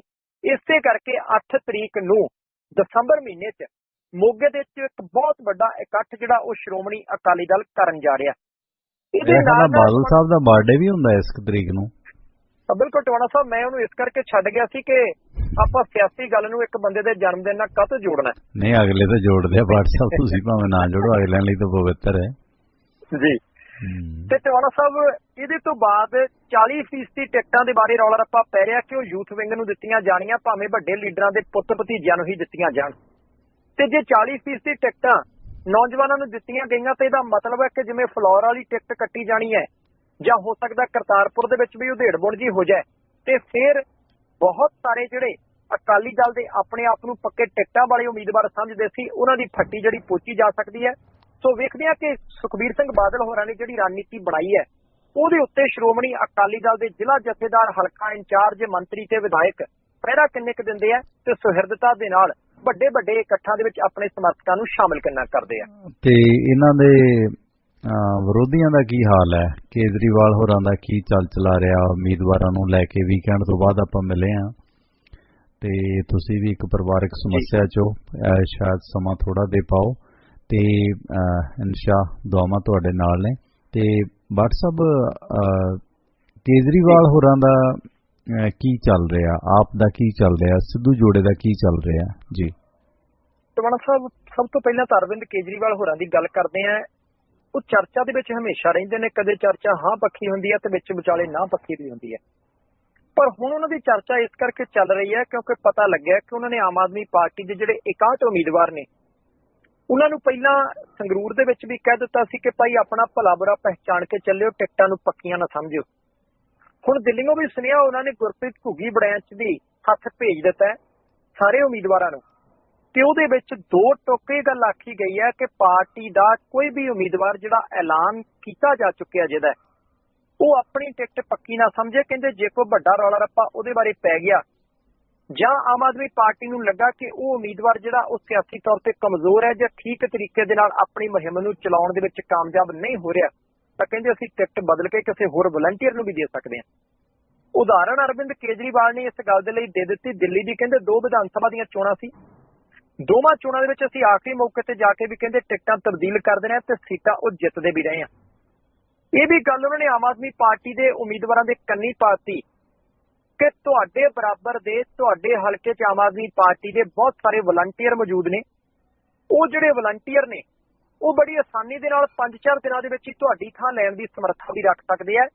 ਤੇ ਇਹ ਸਾਰੀਆਂ ਗੱਲਾਂ ਬਾਤਾਂ ਕਹਿਣ ਦਾ, ਟਵਾਣਾ ਸਾਹਿਬ, ਮੈਨੂੰ ਲੱਗਦਾ ਕਿ ਉਹਨਾਂ ਦਾ ਮਤਲਬ ਇਹ ਸੀ ਕਿ ਕੋਈ ਵੀ ਉਮੀਦਵਾਰ ਜਿਹੜਾ ਇਸ ਗੱਲ ਦੇ ਉੱਤੇ ਟੇਕ ਨਾ ਰੱਖੇ ਕਿ ਆਮ ਆਦਮੀ ਪਾਰਟੀ ਦੀ ਹਨੇਰੀ ਚੱਲ ਜੂ ਤਾਂ ਜਿੱਤ ਜਾਾਂਗੇ, ਜੇ ਹਾਰ ਗਿਆ ਤਾਂ ਬਾਕੀਆਂ ਦੇ ਨਾਲ ਹੀ ਆ। ਇਹਦੇ ਨਾਲ ਨਾਲ ਕਈ ਉਮੀਦਵਾਰਾਂ ਦੇ ਬਾਰੇ ਰੌਲਾ ਰੱਪਾ ਇਹ ਵੀ ਪਿਆ ਸੀ ਕਿ ਟਿਕਟਾਂ ਉਹਨਾਂ ਨੂੰ ਮਿਲ ਗਈਆਂ, ਪਰ ਉਹ ਬਾਕੀ ਦਾਅਵੇਦਾਰਾਂ ਦਾ ਮਿੰਤ ਤਰਲਾ ਨਹੀਂ ਕਰ ਰਿਹਾ ਕਿ ਭਾਈ ਮੇਰੇ ਨਾਲ ਤੁਰੋ। ਉਹਨਾਂ ਨੂੰ ਲੱਗਦਾ ਕਿ ਭਾਈ ਆਪੋ ਆਪਣੇ ਘਰ ਬੈਠੋ, ਮੈਂ ਆਪਣੇ ਆਪ ਮੁਹਿੰਮ ਚਲਾ ਲੈਣੀ ਹੈ ਜਦੋਂ ਸ਼ਿਕਾਇਤਾਂ ਇਸ ਤਰੀਕੇ ਦੀਆਂ ਵੀ ਪਹੁੰਚੀਆਂ ਤੇ ਉਹਦੇ ਬਾਰੇ ਵੀ ਅਰਵਿੰਦ ਕੇਜਰੀਵਾਲ ਨੂੰ ਲੱਗਾ ਸੀ ਕਿ ਭਾਈ ਇੱਕ ਅੱਧਾ ਜੇ ਸਿਆਸੀ ਤੌਰ ਤੇ ਦਬਕਾ ਮਾਰ ਦਿੱਤਾ ਜਾਏ, ਤਾਂ ਜਿਹੜੇ ਨਾਰਾਜ਼ ਲੋਕ ਨੇ ਉਹਨਾਂ ਨੂੰ ਇਹ ਨਾਲ ਵੀ ਤੁਰਨਗੇ ਤੇ ਆਪਣੀ ਯੋਜਨਾ ਜਿਹੜੀ ਹੈ, ਉਹਨੂੰ ਵੀ ਚੰਗੇ ਤਰੀਕੇ ਬਣਾ ਕੇ ਸਰਗਰਮੀਆਂ ਜਿਹੜੀਆਂ ਉਹ ਵਧਾ ਦੇਣਗੇ। ਇਹ ਵੀ ਐਲਾਨ ਆਮ ਆਦਮੀ ਪਾਰਟੀ ਦੁਆਰਾ ਕਰ ਦਿੱਤਾ ਗਿਆ ਕਿ ਹਰ ਇੱਕ ਵਿਧਾਨ ਸਭਾ ਹਲਕੇ ਦੇ ਵਿੱਚ ਪੰਜ ਪੰਜ ਅਬਜ਼ਰਵਰ ਭੇਜੇ ਗਏ ਆ। ਉਹ ਪੰਜੇ ਅਬਜ਼ਰਵਰ ਟਵਾਣਾ ਸਾਹਿਬ ਰੋਜ਼ਾਨਾ ਦਿੱਲੀ ਨੂੰ ਰਿਪੋਰਟ ਭੇਜਦੇ ਆ ਕਿ ਅੱਜ ਕਿਹੜੀ ਥਾਂ ਦੇ ਉੱਤੇ ਇਸ ਉਮੀਦਵਾਰ ਨੇ ਜਿਹੜੀ ਉਹ ਰੈਲੀ ਕੀਤੀ ਆ ਮੀਟਿੰਗ ਕੀਤੀ ਆ, ਕਿਹੋ ਜਿਹਾ ਭਾਸ਼ਣ ਦਿੱਤਾ, ਕਿੰਨੇ ਲੋਕਾਂ ਨੂੰ ਰੁੱਸਿਆਂ ਨੂੰ ਮਨਾਇਆ, ਕਿੰਨੇ ਬਾਕੀ ਪਾਰਟੀਆਂ ਦੇ ਸਮਰਥਕਾਂ ਨੂੰ ਆਮ ਆਦਮੀ ਪਾਰਟੀ ਦੇ ਨਾਲ ਜੋੜਿਆ। ਤੇ ਉਹਨਾਂ ਨੇ ਇਹ ਵੀ ਕਹਿਤਾ ਕਿ ਜੇ ਸਾਡੇ ਅਬਜ਼ਰਵਰ ਜਿਹੜੇ ਆ, ਉਹ ਤੁਹਾਡੇ ਬਾਰੇ ਰਿਪੋਰਟ ਹਾਂ ਪੱਖੀ ਨਹੀਂ ਦੇਣਗੇ ਤਾਂ ਅਸੀਂ ਤੁਹਾਡੀ ਟਿਕਟ ਦੇ ਉੱਤੇ ਦੁਬਾਰਾ ਜਿਹੜਾ ਵਿਚਾਰ ਜ਼ਰੂਰ ਕਰਾਂਗੇ। ਤੇ ਗੁਰਪ੍ਰੀਤ ਘੁੱਗੀ ਬ੍ਰਾਂਚ ਨੇ ਵੀ ਇਸ ਮੁੱਦੇ ਦੇ ਉੱਤੇ ਅਰਵਿੰਦ ਕੇਜਰੀਵਾਲ ਦੇ ਇਸ ਬਿਆਨ ਦੀ ਇਸ ਨਿਰਦੇਸ਼ ਦੀ ਪੁਸ਼ਟੀ ਕਰ ਦਿੱਤੀ ਹੈ। ਉਹ ਕਹਿੰਦੇ ਕਿ ਅਰਵਿੰਦ ਕੇਜਰੀਵਾਲ ਨੇ ਸੁਨੇਹਾ ਬੜਾ ਸਾਫ਼ ਤੇ ਸਪਸ਼ਟ ਭੇਜਿਆ ਇਸ ਕਰਕੇ ਸਾਰੇ ਉਮੀਦਵਾਰ ਜਿਹੜੇ ਨੇ, ਉਹਨਾਂ ਨੂੰ ਮੁਸਤੈਦ ਆਪੋ ਆਪਣੇ ਵਿਧਾਨ ਸਭਾ ਹਲਕੇ 'ਚ ਹੋ ਜਾਣਾ ਚਾਹੀਦਾ ਤੇ ਪਤਾ ਟਵਾਣਾ ਸਾਹਿਬ ਇਹ ਵੀ ਲੱਗਾ ਕਿ ਅਰਵਿੰਦ ਕੇਜਰੀਵਾਲ ਹੋਰੀ ਇਸ ਗੱਲ ਤੇ ਵੀ ਵਿਚਾਰ ਕਰ ਰਹੇ ਆ ਕਿ ਜਿਹੜੇ ਜਿਹੜੇ ਆਮ ਆਦਮੀ ਪਾਰਟੀ ਦੇ ਉਮੀਦਵਾਰ, ਆਮ ਆਦਮੀ ਪਾਰਟੀ ਦੇ ਵਿੱਚ ਵੀ ਅਹੁਦੇਦਾਰ ਲਈ ਰੱਖੇ ਆ ਤੇ ਉਹਨਾਂ ਨੂੰ ਉਮੀਦਵਾਰ ਵੀ ਬਣਾ ਦਿੱਤਾ ਗਿਆ, ਉਹਨਾਂ ਤੋਂ ਅਹੁਦੇ ਵਾਪਸ ਲੈ ਲਏ ਜਾਣ। ਤੇ ਅਹੁਦੇ ਵਾਪਸ ਲੈ ਕੇ ਉਹਨਾਂ ਲੋਕਾਂ ਨੂੰ ਦਿੱਤੇ ਜਾਣ, ਜਿਹੜੇ ਪਾਰਟੀ ਲਈ ਕੰਮ ਵੀ ਕਰਦੇ ਆ, ਪਰ ਜਿਨ੍ਹਾਂ ਨੂੰ ਟਿਕਟਾਂ ਦਿੱਤੀਆਂ ਨਹੀਂ ਜਾ ਸਕੀਆਂ। ਤੇ ਜੇ ਇਹ ਫੈਸਲਾ ਕੀਤਾ ਗਿਆ, ਤਾਂ ਫਿਰ ਬਹੁਤ ਸਾਰੇ ਜਿਹੜੇ ਆਮ ਆਦਮੀ ਪਾਰਟੀ ਦੇ ਉਮੀਦਵਾਰ ਨੇ ਆਪੋ ਆਪਣੇ ਅਹੁਦਿਆਂ ਤੋਂ ਹੱਥ ਧੋ ਬੈਠਣਗੇ। ਹਰਜੋਤ ਬੈਂਸ ਯੂਥ ਵਿੰਗ ਦੇ ਪ੍ਰਧਾਨ ਨੇ, ਥਾਨੇਵਾਲ ਤੋਂ ਉਮੀਦਵਾਰ ਵੀ ਨੇ। ਇਸੇ ਤਰੀਕੇ ਐਡਵੋਕੇਟ ਹਿੰਮਤ ਸਿੰਘ ਸ਼ੇਰਗਿੱਲ ਮੋਹਾਲੀ ਤੋਂ ਉਮੀਦਵਾਰ ਨੇ, ਲੀਗਲ ਵਿੰਗ ਦੇ ਸੂਬਾ ਪ੍ਰਧਾਨ ਨੇ। ਜਗਤਾਰ ਸਿੰਘ ਸੰਘੇੜਾ ਨਕੋਦਰ ਤੋਂ ਉਮੀਦਵਾਰ ਨੇ, ਐਨ ਆਰ ਆਈ ਵਿੰਗ ਦੇ ਪ੍ਰਧਾਨ ਨੇ। ਇਹਦੇ ਨਾਲ ਨਾਲ ਟਵਾਣਾ ਸਾਹਿਬ ਜਿਹੜੇ ਕਿ ਤੁਹਾਡੇ ਪਟਿਆਲਾ ਦਿਹਾਤੀ ਹਲਕੇ ਤੋਂ ਉਮੀਦਵਾਰ ਨੇ, ਉਹ ਵੀ ਕਿਸਾਨ ਵਿੰਗ ਦੇ ਨਾਲ ਸੰਬੰਧਿਤ ਨੇ, ਮੁਖੀ ਨੇ। ਤੇ ਇਹਨਾਂ ਸਾਰੇ ਬੰਦਿਆਂ ਦੇ ਨਾਲ ਨਾਲ ਕਈ ਹੋਰ ਉਮੀਦਵਾਰ ਨੇ, ਉਹਨਾਂ ਤੋਂ ਪਾਰਟੀ ਦੇ ਅਹੁਦੇ ਵਾਪਸ ਲਏ ਜਾ ਸਕਦੇ ਆ ਤੇ ਉੱਥੇ ਨਿਰਾਸ਼ ਤੇ ਗੁੱਸੇ ਹੋਏ ਜਿਹੜੇ ਕੁਝ ਲੋਕ ਨੇ ਕਿ ਭਾਈ ਸਾਨੂੰ ਟਿਕਟਾਂ ਕਿਉਂ ਨਹੀਂ ਦਿੱਤੀਆਂ? ਉਹਨਾਂ ਨੂੰ ਐਡਜਸਟ ਕਰਕੇ ਆਮ ਆਦਮੀ ਪਾਰਟੀ ਬਗਾਵਤ ਤੇ ਨਿਰਾਸ਼ਤਾ ਨੂੰ ਥੋੜਾ ਜਿਹਾ ਘੱਟ ਕਰਨ ਦੀ ਕੋਸ਼ਿਸ਼ ਕਰ ਵੀ ਸਕਦੀ ਹੈ ਜੀ। ਬਾਟ ਸਾਹਿਬ ਵੀਕਐਂਡ ਤੇ ਬਠਿੰਡੇ ਇੱਕ ਬਹੁਤ ਹੀ ਕਮਾਲ ਦੇ ਪੱਤਰਕਾਰ ਆਪਾਂ ਸਾਰੇ ਜਾਣਦੇ ਚਲੋ ਨਾਂ ਨਾ ਨਸ਼ਰ ਕਰੀਏ। ਉਹਨਾਂ ਨਾਲ ਕਾਫੀ ਖੁੱਲੀਆਂ ਗੱਲਾਂ ਬਾਤਾਂ ਹੋਈਆਂ, ਬੈਠੇ, ਕਾਫੀ ਸੰਗਤ ਮਾਣੀ। ਤੇ ਉੱਥੇ ਜਿਹੜਾ ਮੇਰਾ ਤੇ ਉਹਦਾ ਡਿਸਕਸ਼ਨ ਹੋਇਆ, ਉਹ ਆਫ ਦੀ ਰਿਕਾਰਡ ਇਹੀ ਗੱਲਾਂ ਸੀ ਕਿ ਯਾਰ, ਆਪ ਨੇ ਜਿਹੜੇ ਉਮੀਦਵਾਰ ਖੜਾਏ ਨੇ, ਖੁਦਾ ਨਾ ਖਾਲਸਾ, ਸਿਰੜੀ ਰਹਿਣ। ਕਿਤੇ ਇਹ ਨਾ ਹੋਵੇ ਵੀ ਲੈ ਦੇ ਕੇ ਐਮਐਲਏ ਵਿਕ ਜੇ, ਪਹਿਲਾਂ ਹੀ ਸਰੈਂਡਰ ਕਰ ਜੇ। ਉਹ ਤੇ ਗੱਲ ਚਲੀ, ਮੈਂ ਕਿਹਾ ਵੀ ਕਿੰਨਾ ਕੁ- ਕਿੰਨਾ ਕੁ ਦੇ ਸਕਦੇ ਆ ਅਕਾਲੀ ਦਲ ਇਹਨਾਂ ਨੂੰ? ਕਿੰਨਾ ਕੁ ਦੇ ਸਕਦਾ ਵੀ 5-7 ਕਰੋੜ? ਉਹ ਕਹਿੰਦਾ, ਲੈ ਲੈ ਇਹਨਾਂ ਤੇ ਬਹੁਤ ਜ਼ਿਆਦਾ, ਤੂੰ 2 ਕਰੋੜ ਦੀ ਗੱਲ ਕਰ। ਵੇਖਣ ਲੱਗਿਆ, ਮਿੰਟ ਲਾਉਂਦੇ ਅਗਲੇ। ਜਾਂ ਥੜਕਣ ਲੱਗਿਆ, ਮਿੰਟ ਲਾਉਂਦੇ, ਵੀ ਗਾਂ ਕਿਹੜਾ ਤੈਨੂੰ ਕੈਬਨਿਟ 'ਚ ਲੈ ਜਾਣਾ ਵੀ ਤੂੰ ਪੈਸੇ ਬਣਾਉਣ ਦੀ ਗੱਲ ਕਰ। ਸੋ ਮੌਲਾ ਮਿਹਰ ਕਰੇ ਜੀ, ਕਿਉਂਕਿ ਅਕਾਲੀ ਦਲ ਕੋਲ ਸਭ ਕੁਝ ਹੈ। ਸਿਰੜੀ ਰਹਿਣਾ ਚਾਹੀਦਾ ਇਹਨਾਂ ਨੂੰ। ਜੀ। ਜੀ। ਬਿਲਕੁਲ ਟਵਾਣਾ ਸਾਹਿਬ ਇਹ, ਤੁਹਾਡੀ ਗੱਲ ਬਿਲਕੁਲ ਭਾਵੇਂ ਕਈਆਂ ਨੂੰ ਲੱਗੇਗੀ ਕਿ ਭਾਈ ਸਮੇਂ ਤੋਂ ਪਹਿਲਾਂ ਕੀਤੀ ਗਈ ਹੈ ਪਰ ਸਾਰਾ ਕੁਝ ਇੱਥੇ ਚੱਲਣਾ ਹੈ। ਤੇ। ਜਦੋਂ ਸਾਰਾ ਕੁਝ ਚੱਲਣਾ ਹੈ ਤੇ ਸਾਰੇ ਬੰਦੇ ਜਿਹੜੇ ਉਹ ਮਜ਼ਬੂਤ ਨਹੀਂ ਹੁੰਦੇ। ਬੰਦੇ ਬਾਟ ਸਾਹਿਬ ਉਹ ਜਿਹੜੇ ਬੰਦੇ ਖੜਾਏ ਜਾ ਰਹੇ ਨੇ ਨਾ ਉਹ ਬੰਦੇ ਪੋਲੀਟੀਕਲ ਨਹੀਂ ਹੈ। ਉਹ ਬੰਦੇ ਡਰ ਵਾਲੇ ਵੀ ਨੇ। ਉਹ ਉਹਨਾਂ 'ਚ ਕਿਤੇ ਨਾ ਕਿਤੇ ਵੀ ਪਤਾ ਨਹੀਂ ਕੀ ਹੋ ਜੇ ਫਸਾ ਨਾ ਦੇਣ ਇਹ ਨਾ ਹੋਣ ਮਤਲਬ ਉਹ ਸਿਰੜੀ ਬੰਦੇ ਨਹੀਂ ਆ, ਬਹੁਤੇ ਉਹਨਾਂ 'ਚੋਂ।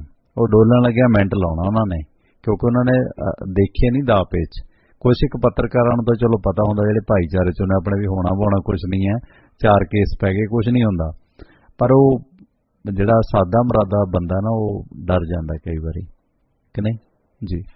ਬਿਲਕੁਲ, ਟਵਾਣਾ ਸਾਹਿਬ ਤੇ ਨਾਲ ਦੀ ਨਾਲ ਜਿੱਥੇ ਇਹ ਤੁਹਾਡੀ ਗੱਲ ਬਿਲਕੁਲ ਜਾਇਜ਼ ਹੈ, ਕਿਉਂਕਿ ਪੰਜਾਬ ਦੀ ਸਿਆਸਤ ਜਿਹੜੀ ਹੈ ਉਹ ਬੜੀ ਕਰੇਲੇ ਵਰਗੀ ਸਿਆਸਤ ਹੈ ਕੌੜੀ। ਬਹੁਤ ਹੈ ਬਿਲਕੁਲ ਤੇ ਇਸ ਕੌੜੀ ਸਿਆਸਤ ਦੇ ਵਿੱਚੋਂ ਬਿਲਕੁਲ ਠੀਕ ਤਰੀਕੇ ਦੇ ਨਾਲ ਬਾਹਰ ਨਿਕਲਣਾ ਕਿ ਭਾਈ ਆਪਾਂ ਕੀਟਨਾਸ਼ਕ ਦਵਾਈਆਂ ਦੀ ਵਰਤੋਂ ਵੀ ਨਹੀਂ ਕਰਨੀ ਆਪਾਂ ਨੂੰ ਖਾਦਾਂ ਵੀ ਨਹੀਂ ਚਾਹੀਦੀਆਂ ਆਪਣੇ ਦਮ ਤੇ। ਉੱਪਰ ਚੜਨਾ ਇਹ ਆਮ। ਆਦਮੀ ਪਾਰਟੀ ਦੇ ਸੰਭਾਵੀ ਉਮੀਦਵਾਰਾਂ ਲਈ ਬਹੁਤ ਔਖੀ ਜੀ ਘਾਟੀ ਹੈ ਪਰ ਦਿੱਲੀ ਦਾ ਤਜਰਬਾ ਵੇਖੀਏ ਤਾਂ ਜੇ ਅਰਵਿੰਦ ਕੇਜਰੀਵਾਲ ਨੇ ਬੰਦੇ ਉੱਥੇ ਨਹੀਂ ਹਿੱਲਣ ਦਿੱਤੇ ਤਾਂ ਉਮੀਦ ਕਰਨੀ ਚਾਹੀਦੀ ਹੈ ਦਿੱਲੀ। ਤੇ ਪੰਜਾਬ ਦੀ ਗਰਾਊਂਡ ਰਿਐਲਿਟੀ 'ਚ ਜ਼ਮੀਨ ਅਸਮਾਨ। ਦਾ ਫ਼ਰਕ ਹੈ ਦਿੱਲੀ 'ਚ ਇਹ ਕੁਝ ਨਹੀਂ ਹੁੰਦਾ ਜੋ ਪੰਜਾਬ 'ਚ ਹੁੰਦਾ ਹੈ। ਕਿ ਨਹੀਂ? ਬਿਲਕੁਲ ਟਵਾਣਾ ਸਾਹਿਬ ਇਹ। ਤੁਹਾਡੀ ਮੈਂ ਪਹਿਲੇ ਕਹਿ ਚੁੱਕਿਆ ਕਿ ਦਿੱਲੀ ਤੇ ਇੱਥੇ ਦੀਆਂ ਸਥਿਤੀਆਂ 'ਚ ਫ਼ਰਕ ਬਹੁਤ ਹੈ। ਪਰ ਫਿਰ ਵੀ ਵੇਖਦੇ ਆ ਕਿ ਜੇ ਹੋਮਵਰਕ। ਕਿਸੇ ਨਾ ਕਿਸੇ ਤਰੀਕੇ ਦਾ ਕੀਤਾ ਹੋਏਗਾ ਤੇ ਗੱਲ ਜਾਏਗੀ ਕਿਤੇ ਨਾ ਜ਼ਰੂਰ। ਤੇ ਸਿਆਸੀ ਮੁੱਦਾ ਬਣੀਆਂ ਕੱਚੇ ਕਰਮਚਾਰੀਆਂ ਦੀਆਂ ਤਨਖਾਹਾਂ? ਜੀ। ਟਵਾਣਾ ਸਾਹਿਬ ਇਸ ਵੇਲੇ ਬਹੁਤ ਸਾਰੇ ਮੁੱਦੇ ਪੰਜਾਬ ਸੂਬੇ ਦੀ ਸਿਆਸਤ ਦੇ ਵਿੱਚ ਚਰਚਿਤ ਨੇ ਗਰਮਾਏ ਹੋਏ ਨੇ। ਹੁਣ ਉਹਨਾਂ ਮੁੱਦਿਆਂ ਦੇ ਵਿੱਚ ਨਸ਼ਾ ਵੀ ਹੈਗਾ, ਕਿਸਾਨੀ ਵੀ ਹੈਗੀ ਆ, ਬੇਰੁਜ਼ਗਾਰੀ ਵੀ ਹੈਗੀ ਆ। ਪਰ ਇਹ ਕਿਸੇ ਨੂੰ ਚਿੱਤ ਚੇਤਾ ਨਹੀਂ ਸੀ, ਨਾ ਤਾਂ ਸਿਆਸੀ ਲੀਡਰਾਂ ਨੂੰ, ਨਾ ਸਿਆਸੀ ਟਿੱਪਣੀਕਾਰਾਂ ਨੂੰ ਕਿ ਕੱਚੇ ਕਰਮਚਾਰੀਆਂ ਦੀ ਤਨਖਾਹ ਦਾ ਮੁੱਦਾ ਵੀ ਗਰਮਾ ਸਕਦਾ। ਹੈ ਇਹ ਤਾਂ ਮੁੱਦਾ ਆਪਣੇ ਆਪ 'ਚ ਬਣਦਾ ਸੀ ਕਿ ਕੱਚੇ ਰੌਲਾ ਰੱਪਾ ਪਾਉਣਗੇ, ਪਾਉਂਦੇ ਵੀ ਆ ਕਿ ਸਾਨੂੰ ਪੱਕੇ ਕਰੋ। ਪਰ ਕੱਚੇ ਕਰਮਚਾਰੀ ਦੀ ਇਕੱਲੀ ਤਨਖਾਹ ਦਾ ਮੁੱਦਾ ਵੀ ਸਾਹਮਣੇ ਆਜੂ ਤੇ ਸਿਖਰਾਂ ਤੇ ਅਪੜਨ ਦੀ ਕੋਸ਼ਿਸ਼ ਕਰੂ, ਇਹ ਕਿਸੇ ਦੇ ਚਿਰ ਚੇਤੇ ਨਹੀਂ ਸੀ। ਪਰ ਹੁਣ ਮਾਨਯੋਗ ਸੁਪਰੀਮ ਕੋਰਟ ਦੇ ਇੱਕ ਫੈਸਲੇ ਤੋਂ ਬਾਅਦ ਲੱਗਦਾ ਹੈ ਕਿ ਇਹ ਮੁੱਦਾ ਵੀ ਪੰਜਾਬ ਦੀ ਸਿਆਸਤ ਦੇ ਵਿੱਚ ਸਿਖਰਲੀ ਥਾਂ ਜਿਹੜੀ ਹਾਸਲ ਕਰ ਸਕਦਾ ਹੈ। ਹੁਣ ਸੁਪਰੀਮ ਕੋਰਟ ਨੇ ਪੰਜਾਬ ਨਾਲ ਸੰਬੰਧਿਤ ਇੱਕ ਪਟੀਸ਼ਨ ਦੇ ਉੱਤੇ ਫੈਸਲਾ ਸੁਣਾਉਂਦਿਆਂ ਇਹ ਕਹਿ ਦਿੱਤਾ ਸੀ ਕਿ ਪੰਜਾਬ ਸਰਕਾਰ ਕੱਚੇ ਕਰਮਚਾਰੀਆਂ ਦੀ ਤਨਖਾਹ ਜਿਹੜੀ ਹੈ, ਉਹ ਪੱਕੇ ਕਰਮਚਾਰੀਆਂ ਦੇ ਬਰਾਬਰ ਕਰੇ। ਹੁਣ ਉਹਨਾਂ ਦਾ ਤੇ ਇਹ ਤਰਕ ਸੀ ਕਿ ਭਾਈ ਜੇ ਬੰਦਾ ਯੋਗਤਾ ਰੱਖਦਾ ਹੈ ਜੇ ਇੱਕੋ ਟੇਬਲ ਦੇ ਆਲੇ ਦੁਆਲੇ ਦੋ ਕੁਰਸੀਆਂ ਰੱਖੀਆਂ ਹੋਈਆਂ, ਇੱਕ ਪੱਕੇ ਦੀ ਤਨਖਾਹ 75000 ਹੈ ਤੇ ਕੱਚੇ ਦੀ 25000 ਹੈ। ਬਿਲਕੁਲ ਕਹਿੰਦੇ ਵਾਜਬ ਨਹੀਂ। ਇਹਦੇ ਨਾਲ ਮਾਨਸਿਕ ਤੌਰ ਤੇ ਵੀ ਬਹੁਤ ਮਾੜਾ ਪ੍ਰਭਾਵ ਪੈਂਦਾ ਤੇ ਵੈਸੇ ਸੋਸ਼ਲੀ ਵੀ ਗੱਲ ਜਿਹੜੀ ਉਹ ਠੀਕ ਨਹੀਂ। ਹੁਣ ਪੰਜਾਬ ਨਾਲ ਸੰਬੰਧਿਤ ਫੈਸਲਾ ਸੀ। ਪੰਜਾਬ ਸਰਕਾਰ ਲਾਗੂ ਕਰਦੀ ਹੈ, ਨਹੀਂ ਕਰਦੀ, ਕਦੋਂ ਲਿਖਤੀ ਉਹ ਫੈਸਲਾ ਸਰਕਾਰਾਂ ਦੇ ਕੋਲ ਪਹੁੰਚਦਾ, ਕਿੱਥੇ ਭੇਜਿਆ ਜਾਂਦਾ, ਉਹ ਬਾਅਦ ਦੀਆਂ ਗੱਲਾਂ ਸੀ। ਪਰ ਦਿੱਲੀ ਦੇ ਮੁੱਖ ਮੰਤਰੀ ਅਰਵਿੰਦ ਕੇਜਰੀਵਾਲ ਹੋਰਾਂ ਨੇ ਉਹ ਫੈਸਲਾ ਥੱਲੇ ਡਿੱਗਣ ਤੋਂ ਪਹਿਲੇ ਬੋਚ ਲਿਆ। ਤੁਰੰਤ ਐਲਾਨ ਕਰ ਦਿੱਤਾ ਕਿ ਭਾਈ ਸੁਪਰੀਮ ਕੋਰਟ ਦੇ ਫੈਸਲੇ ਦੇ ਪਰਛਾਵੇਂ ਹੇਠ ਅਸੀਂ ਕਹਿੰਦੇ ਦਿੱਲੀ ਦੇ ਵਿੱਚ ਸਭ ਤੋਂ ਪਹਿਲਾਂ ਕੱਚੇ ਕਰਮਚਾਰੀਆਂ ਨੂੰ ਪੱਕੇ ਕਰਮਚਾਰੀਆਂ ਜਿੰਨੀਆਂ ਤਨਖਾਹਾਂ ਦੇਾਂਗੇ ਤੇ ਇੱਥੋਂ ਤੱਕ ਤਾਂ ਗੱਲ ਠੀਕ ਸੀ। ਅੱਗੋਂ ਜਿਹੜੀ ਹੌਲੀ ਦੇਣੀ, ਉਹਨਾਂ ਨੇ ਪੰਜਾਬ ਸਰਕਾਰ ਨੂੰ ਸਲਾਹ ਦੇ ਦਿੱਤੀ, ਉਹਦੇ ਕਰਕੇ ਪੰਜਾਬ 'ਚ ਸਿਆਸੀ ਤੌਰ ਤੇ ਤਰਥੱਲੀ ਮੱਚ ਜਾਣੀ ਹੈ। ਸਲਾਹ ਅਰਵਿੰਦ ਕੇਜਰੀਵਾਲ ਨੇ ਪੰਜਾਬ ਸਰਕਾਰ ਨੂੰ ਇਹ ਦਿੱਤੀ ਕਿ ਭਾਈ ਪੰਜਾਬ ਸਰਕਾਰ ਨੂੰ ਵੀ ਕੱਚੇ ਕਰਮਚਾਰੀ ਜਿਹੜੇ ਰੱਖੇ ਹੋਏ ਆ, ਉਹਨਾਂ ਨੂੰ ਪੱਕਿਆਂ ਦੇ ਬਰਾਬਰ ਹੀ ਤਨਖਾਹ ਦੇਣੀ ਚਾਹੀਦੀ ਹੈ। ਹਾਲ ਦੀ ਘੜੀ ਪੰਜਾਬ ਸਰਕਾਰ ਵੱਲੋਂ ਪ੍ਰਤੀਕਰਮ ਕੋਈ ਨਹੀਂ। ਕਾਂਗਰਸ ਪਾਰਟੀ ਵੱਲੋਂ ਟਿੱਪਣੀ ਕੋਈ ਨਹੀਂ। ਬਹੁਜਨ ਸਮਾਜ ਪਾਰਟੀ, ਪੰਥਕ ਧਿਰਾਂ ਜਾਂ ਹੋਰ ਕਿਸੇ ਸਿਆਸੀ ਪਾਰਟੀ ਜਿਹੜੀ ਕਿ ਪੰਜਾਬ 'ਚ ਸਰਗਰਮ ਹੈ, ਉਹਨਾਂ ਨੇ ਪ੍ਰਤੀਕਿਰਿਆ ਦਿੱਤੀ ਕੋਈ ਨਹੀਂ। ਪਰ ਇਹ ਲੱਗਦਾ ਹੈ ਕਿ ਜਦੋਂ ਅਰਵਿੰਦ ਕੇਜਰੀਵਾਲ ਨੇ ਅਗਲੀ ਵਾਰੀ ਪੰਜਾਬ ਦਾ ਫੇਰਾ ਪਾਉਣਾ ਹੈ, ਤਾਂ ਟਵਾਣਾ ਸਾਹਿਬ ਉਸ ਵੇਲੇ ਉਹ ਇਸ ਮੁੱਦੇ ਨੂੰ ਬਹੁਤ ਵੱਡੇ ਪੱਧਰ ਤੇ ਕਰਕੇ ਪੇਸ਼ ਕਰ ਸਕਦੇ ਆ ਪੰਜਾਬ ਦੇ ਲੱਖਾਂ ਉਹਨਾਂ ਕਰਮਚਾਰੀਆਂ ਦੇ ਸਾਹਮਣੇ ਜਿਹੜੇ ਕੰਮ ਤਾਂ ਸਰਕਾਰੀ ਵਿਭਾਗਾਂ ਦੇ ਵਿੱਚ ਕਰਦੇ ਆ, ਪਰ ਤਨਖਾਹਾਂ ਉਹਨਾਂ ਨੂੰ ਕੱਚੇ ਹੋਣ ਕਰਕੇ ਥੋੜੀਆਂ ਮਿਲਦੀਆਂ। ਹੁਣ ਅਰਵਿੰਦ ਕੇਜਰੀਵਾਲ ਹੋਰਾਂ ਨੇ ਪੰਜਾਬ ਦੇ ਵਿੱਚ ਆ ਕੇ ਰੌਲਾ ਰੱਪਾ, ਇਹ ਜ਼ਰੂਰ ਪਾਉਣਾ ਹੈ। ਗੱਲ ਇਹ ਜ਼ਰੂਰ ਰੱਖਣੀ ਹੈ ਕਿ ਭਾਈ ਵੇਖੋ ਸਾਡੀ ਦਿੱਲੀ 'ਚ ਸੀ ਸਰਕਾਰ। ਸੁਪਰੀਮ ਕੋਰਟ ਦਾ ਫੈਸਲਾ ਭਾਵੇਂ ਦਿੱਲੀ ਨਾਲ ਸੰਬੰਧਿਤ ਨਹੀਂ ਸੀ, ਪਰ ਅਸੀਂ ਉਹਨਾਂ ਦੇ ਫੈਸਲੇ ਦੇ ਮਹੱਤਵ ਨੂੰ ਸਮਝਿਆ ਤੇ ਦਿੱਲੀ ਦੇ ਵਿੱਚ ਕੱਚੇ ਕਰਮਚਾਰੀਆਂ ਦੀਆਂ ਤਨਖਾਹਾਂ ਜਿਹੜੀਆਂ ਉਹ ਪੱਕੇ ਸਰਕਾਰੀ ਕਰਮਚਾਰੀਆਂ ਦੇ ਬਰਾਬਰ ਕੀਤੀਆਂ। ਪਰ ਨਾਲ ਦੀ ਨਾਲ ਉਹਨਾਂ ਨੇ ਵੀ ਕਹਿਣਾ ਕਿ ਵੇਖ ਲਓ ਮੈਂ ਬਾਦਲ ਸਰਕਾਰ ਨੂੰ ਕਿਹਾ ਸੀ ਕਿ ਕੱਚੇ ਕਰਮਚਾਰੀਆਂ ਨੂੰ ਬਰਾਬਰ ਦਾ ਰਤਬਾ ਦਿਓ, ਪਰ ਇਹਨਾਂ ਨੇ ਅੱਜ ਤੱਕ ਰਤਬਾ ਦਿੱਤਾ ਨਹੀਂ ਤੇ ਡਵਾਣਾ ਸਾਹਿਬ ਜਿਹੜਾ ਸਵਾ ਲੱਖ ਕਰਮਚਾਰੀ ਮੰਨਿਆ ਜਾਂਦਾ ਕਿ ਕੱਚਾ ਹੈ, ਜਿਹੜਾ ਪੱਕੇ ਹੋਣ ਨੂੰ ਭਟਕਦਾ ਹੈ। ਤਿੰਨ ਤਿੰਨ ਚਾਰ ਚਾਰ ਵੋਟਾਂ ਵੀ ਘਰਾਂ ਦੇ ਵਿੱਚ ਹੋਣਗੀਆਂ 3-4 ਲੱਖ ਵੋਟ ਤੱਕ ਮਸਲਾ ਪਹੁੰਚਦਾ ਕਿ ਜੇ ਉਹਦੇ ਵਿੱਚੋਂ 25-30% ਵੀ ਆਮ ਆਦਮੀ ਪਾਰਟੀ ਦੇ ਇਸ ਮੁੱਦੇ ਦੇ ਕਰਕੇ ਪ੍ਰਭਾਵਿਤ ਹੋਏ, ਤਾਂ ਗੱਲ ਬਹੁਤ ਦੂਰ ਤੱਕ ਜਾਂਦੀ ਹੈ। ਪਰ ਲੱਗਦਾ ਕਿ ਉਹਦੇ ਤੋਂ ਪਹਿਲਾਂ ਸ਼੍ਰੋਮਣੀ ਅਕਾਲੀ ਦਲ, ਭਾਜਪਾ ਤੇ ਕਾਂਗਰਸ ਇਹਨਾਂ ਤਿੰਨਾਂ ਧਿਰਾਂ ਵੱਲੋਂ ਕੋਈ ਨਾ ਕੋਈ ਪ੍ਰਤੀਕਿਰਿਆ ਜਿਹੜੀ ਆ ਇਸ ਮੁੱਦੇ ਤੇ ਆ ਸਕਦੀ ਹੈ। ਨਹੀਂ ਤਾਂ ਫਿਰ ਆਮ ਆਦਮੀ ਪਾਰਟੀ ਨੇ ਵਿਰੋਧੀਆਂ ਨੂੰ ਖੇਡੇ ਇਸ ਮੁੱਦੇ ਤੇ ਲਾਉਣ ਦੀ ਕੋਸ਼ਿਸ਼ ਪੂਰੀ ਕਰਨੀ ਹੈ। ਜੀ। ਤੇ ਬੀਜੇਪੀ ਦਾ ਯੂਥ ਵਿੰਗ ਕੀ ਸਿਆਸੀ ਪਟਾਕੇ ਪਾਈ ਜਾਂਦਾ? ਬਾਟ ਸਾਹਿਬ ਹੋਏ ਫਾਰਮ ਚ ਆਏ ਕੁਛ? ਟਵਾਣਾ ਸਾਹਿਬ ਪਹਿਲੀ ਤਾਂ ਗੱਲ ਹੈ ਕਿ ਸਰਗਰਮੀ ਕੋਈ ਨਹੀਂ ਨਾ ਵੱਡਿਆਂ ਦੀ ਤੇ ਨਾ ਨੌਜਵਾਨਾਂ ਦੀ ਬੀਜੇਪੀ 'ਚ। ਜੇ ਸਰਗਰਮੀ ਹੈਗੀ ਹੈ ਉਹ ਦਫ਼ਤਰਾਂ ਦੇ ਵਿੱਚ ਹੈ ਉਹ ਸੋਸ਼ਲ ਮੀਡੀਆ ਤੇ ਹੈ ਲੋਕਾਂ ਦੇ ਵਿੱਚ ਜਾ ਕੇ ਸਰਗਰਮੀ ਹੈ ਨਹੀਂ। ਨਾ ਤਾਂ ਦੁਕਾਨਾਂ ਤੇ ਜਾਂਦੇ ਆ, ਨਾ ਵਪਾਰੀਆਂ ਕੋਲ ਜਾਂਦੇ ਆ, ਨਾ ਉਦਯੋਗਪਤੀਆਂ ਦੇ ਕੋਲ ਜਾਂਦੇ ਆ। ਨਵੇਂ-ਨਵੇਂ ਸੂਬੇ ਦੇ ਇੰਚਾਰਜ ਲਾਏ ਉਹ ਆ ਕੇ ਮੀਟਿੰਗਾਂ ਕਰਕੇ ਚਲੇ ਗਏ। ਪਰ ਹੁਣ ਜਿਹੜੀ ਧੜੇਬੰਦੀ ਤੋਂ ਸਭ ਤੋਂ ਵੱਧ ਪੀੜਤ ਹੈ ਪੰਜਾਬ ਦੀ ਭਾਰਤੀ ਜਨਤਾ ਪਾਰਟੀ, ਉਹ ਧੜੇਬੰਦੀ ਜਿਹੜੀ ਹੈ, ਇਸ ਪਾਰਟੀ ਨੂੰ ਸਭ ਤੋਂ ਵੱਧ ਮਹਿੰਗੀ ਜਿਹੜੀ ਉਹ ਪੈ ਸਕਦੀ ਹੈ। ਕਿਉਂਕਿ ਇੱਕ ਤਾਂ ਉੱਪਰ ਵਿਜੇ ਸਾਪਲਾ ਤੇ ਦੂਜੇ ਧੜੇ ਜਿਹੜੇ ਆਪਸ ਵਿੱਚ ਫਸੇ ਹੋਏ ਨੇ। ਟਿਕਟਾਂ ਦੀ ਵੰਡ ਵੇਲੇ ਬਹੁਤ ਮੁਸ਼ਕਲ ਆਉਣੀ ਹੈ।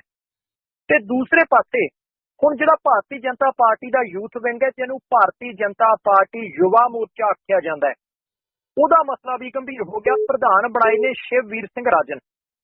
ਹੁਣ ਸ਼ਿਵਵੀਰ ਰਾਜਨ ਨੇ ਸੂਬਾ ਕਾਰਜਕਾਰਨੀ ਦਾ ਸਵੇਰੇ ਐਲਾਨ ਕੀਤਾ ਕਿ ਭਾਈ ਸਾਡੇ ਆਹ ਬੰਦੇ ਜਿਹੜੇ ਆ ਵੱਖ-ਵੱਖ ਅਹੁਦਿਆਂ ਤੇ ਹੋਣਗੇ, ਸ਼ਾਮ ਨੂੰ ਵਿਜੇ ਸਾਂਪਲਾ ਹੋਰਾਂ ਨੇ ਕਹਿ ਦਿੱਤਾ ਕਿ ਭਾਈ ਲਿਸਟ ਤੇ ਰੋਕ ਲੱਗੀ ਹੈ। ਲਿਸਟ ਅਜੇ ਪੱਕੀ ਨਾ ਸਮਝ ਜਾਵੇ, ਦੁਬਾਰਾ ਜਾਰੀ ਕਰਾਂਗੇ।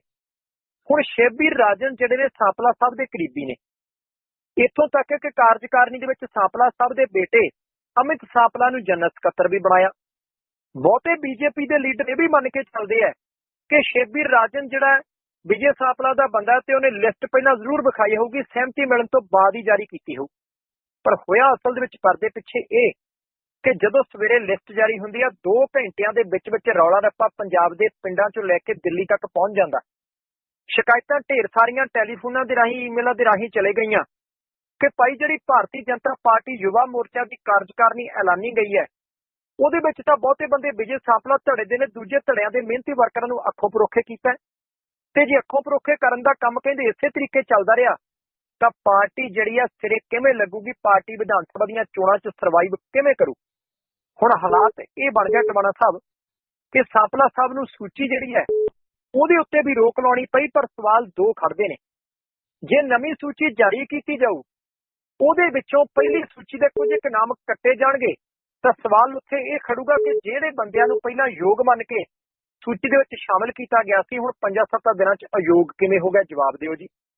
ਦੂਜੀ ਗੱਲ, ਜਿਹੜੇ ਬੰਦਿਆਂ ਨੂੰ ਪਹਿਲਾਂ ਸੂਚੀ 'ਚ ਥਾਂ ਨਹੀਂ ਸੀ ਦਿੱਤੀ ਗਈ, ਹੁਣ ਦੂਸਰੀ ਵਾਰ ਸੂਚੀ ਦੇ ਵਿੱਚ ਜੇ ਉਹਨਾਂ ਨੂੰ ਥਾਂ ਦਿੱਤੀ ਜਾਊਗੀ, ਤਾਂ ਸਵਾਲ ਉੱਥੇ ਆ ਕੇ ਇਹ ਖੜ ਜਾਣਾ ਕਿ ਭਾਈ ਹੁਣ ਇਹ ਜ਼ਰੂਰ ਦੱਸ ਦਿਓ ਕਿ ਜੇ ਬੰਦੇ ਯੋਗ ਨੇ, ਜਿਨ੍ਹਾਂ ਬੰਦਿਆਂ ਨੇ ਪਾਰਟੀ ਦੇ ਯੂਥ ਵਿੰਗ ਦੇ ਵਿੱਚ ਕੰਮ ਬਹੁਤ ਕੀਤਾ ਹੈ ਤਾਂ ਤੁਸੀਂ ਪਹਿਲੀ ਵਾਰੀ ਜਦੋਂ ਸੂਚੀ ਜਾਰੀ ਕੀਤੀ, ਇਹਨਾਂ ਦਾ ਨਾਮ ਕਿਉਂ ਨਹੀਂ ਲਿਖਿਆ? ਪਰ ਕੁੱਲ ਮਿਲਾ ਕੇ ਭਾਰਤੀ ਜਨਤਾ ਪਾਰਟੀ ਨੇ ਵਿਜੇ ਸਾਂਪਲਾ ਦੇ ਵਿਰੋਧੀ ਜਿੰਨੇ ਵੀ ਲੀਡਰ ਨੇ, ਉਹ ਟੁਕੜਾ ਭਰ ਭਰ ਸ਼ਿਕਾਇਤਾਂ ਦੇ ਲੈ ਕੇ ਦਿੱਲੀ ਜਾਣ ਦੀ ਕੋਸ਼ਿਸ਼ ਦੇ ਵਿੱਚ ਨੇ।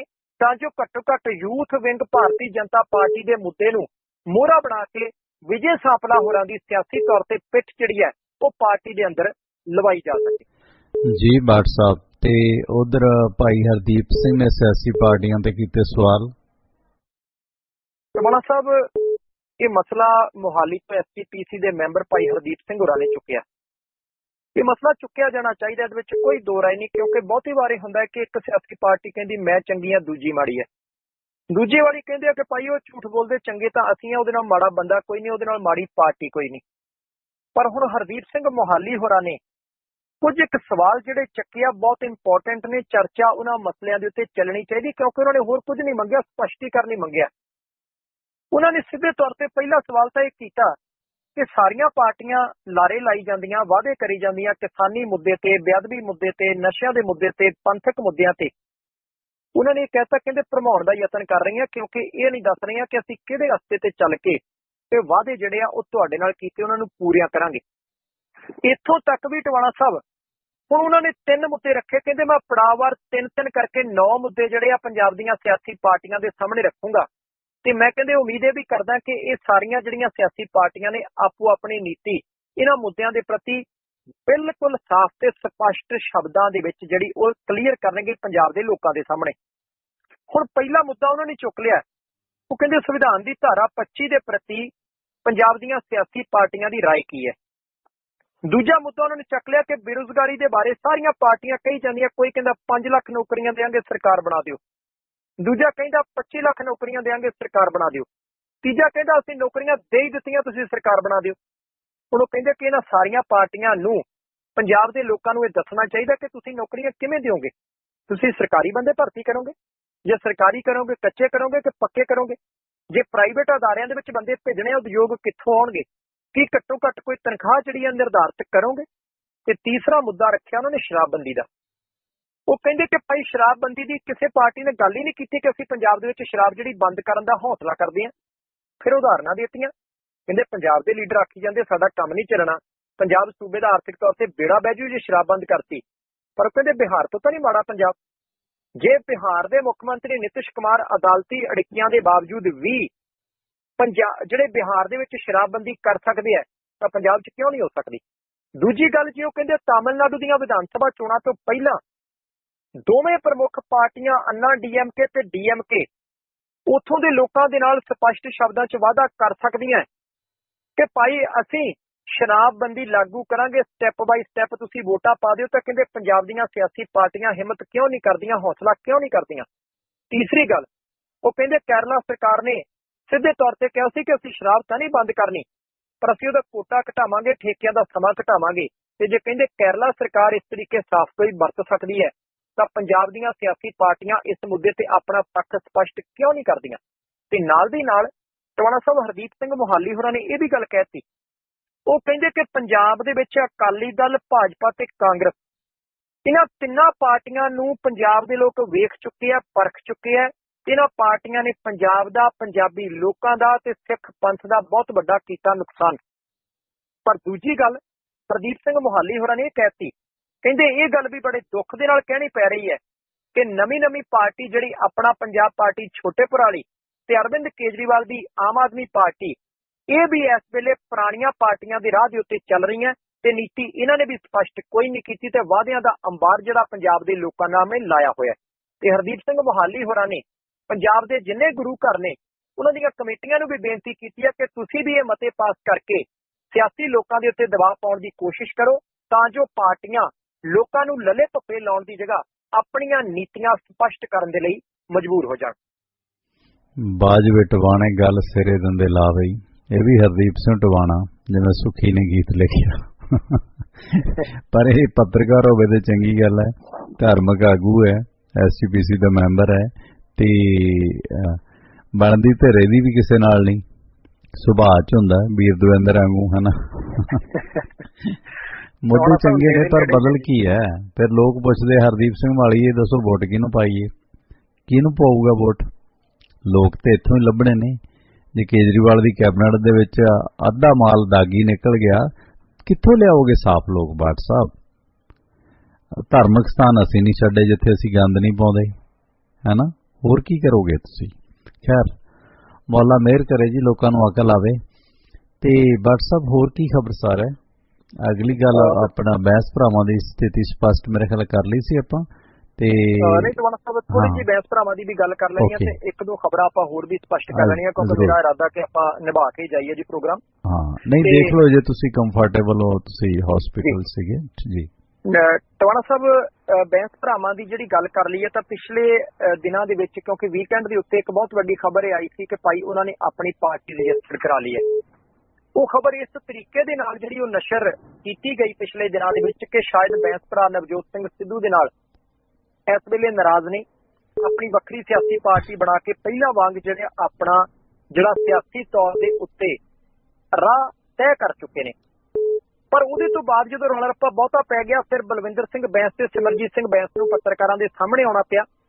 ਉਹ ਕਹਿੰਦੇ ਕਿ ਇਹਦੇ ਵਿੱਚ ਕੋਈ ਦੋ ਰਾਏ ਨਹੀਂ ਕਿ ਅਸੀਂ ਲੋਕ ਇਨਸਾਫ ਪਾਰਟੀ ਜਿਹੜੀ ਹੈ ਉਹਨੂੰ ਰਜਿਸਟਰਡ ਕਰਾ ਲਿਆ। ਪਰ ਕਹਿੰਦੇ ਉਹਦੀ ਰਜਿਸਟ੍ਰੇਸ਼ਨ ਦੀ ਪ੍ਰਕਿਰਿਆ ਅਸੀਂ ਸ਼ੁਰੂ ਕੀਤੀ ਸੀ ਜੂਨ, ਜੁਲਾਈ ਮਹੀਨੇ ਦੇ ਵਿੱਚ। ਤੇ ਜੂਨ, ਜੁਲਾਈ ਮਹੀਨੇ 'ਚ ਕਹਿੰਦੇ ਆਵਾਜ਼ੇ ਪੰਜਾਬ ਫਰੰਟ ਬਣਾਉਣ ਦਾ ਕੋਈ ਵੀ ਆਈਡੀਆ ਮਨ 'ਚ ਨਹੀਂ ਸੀ।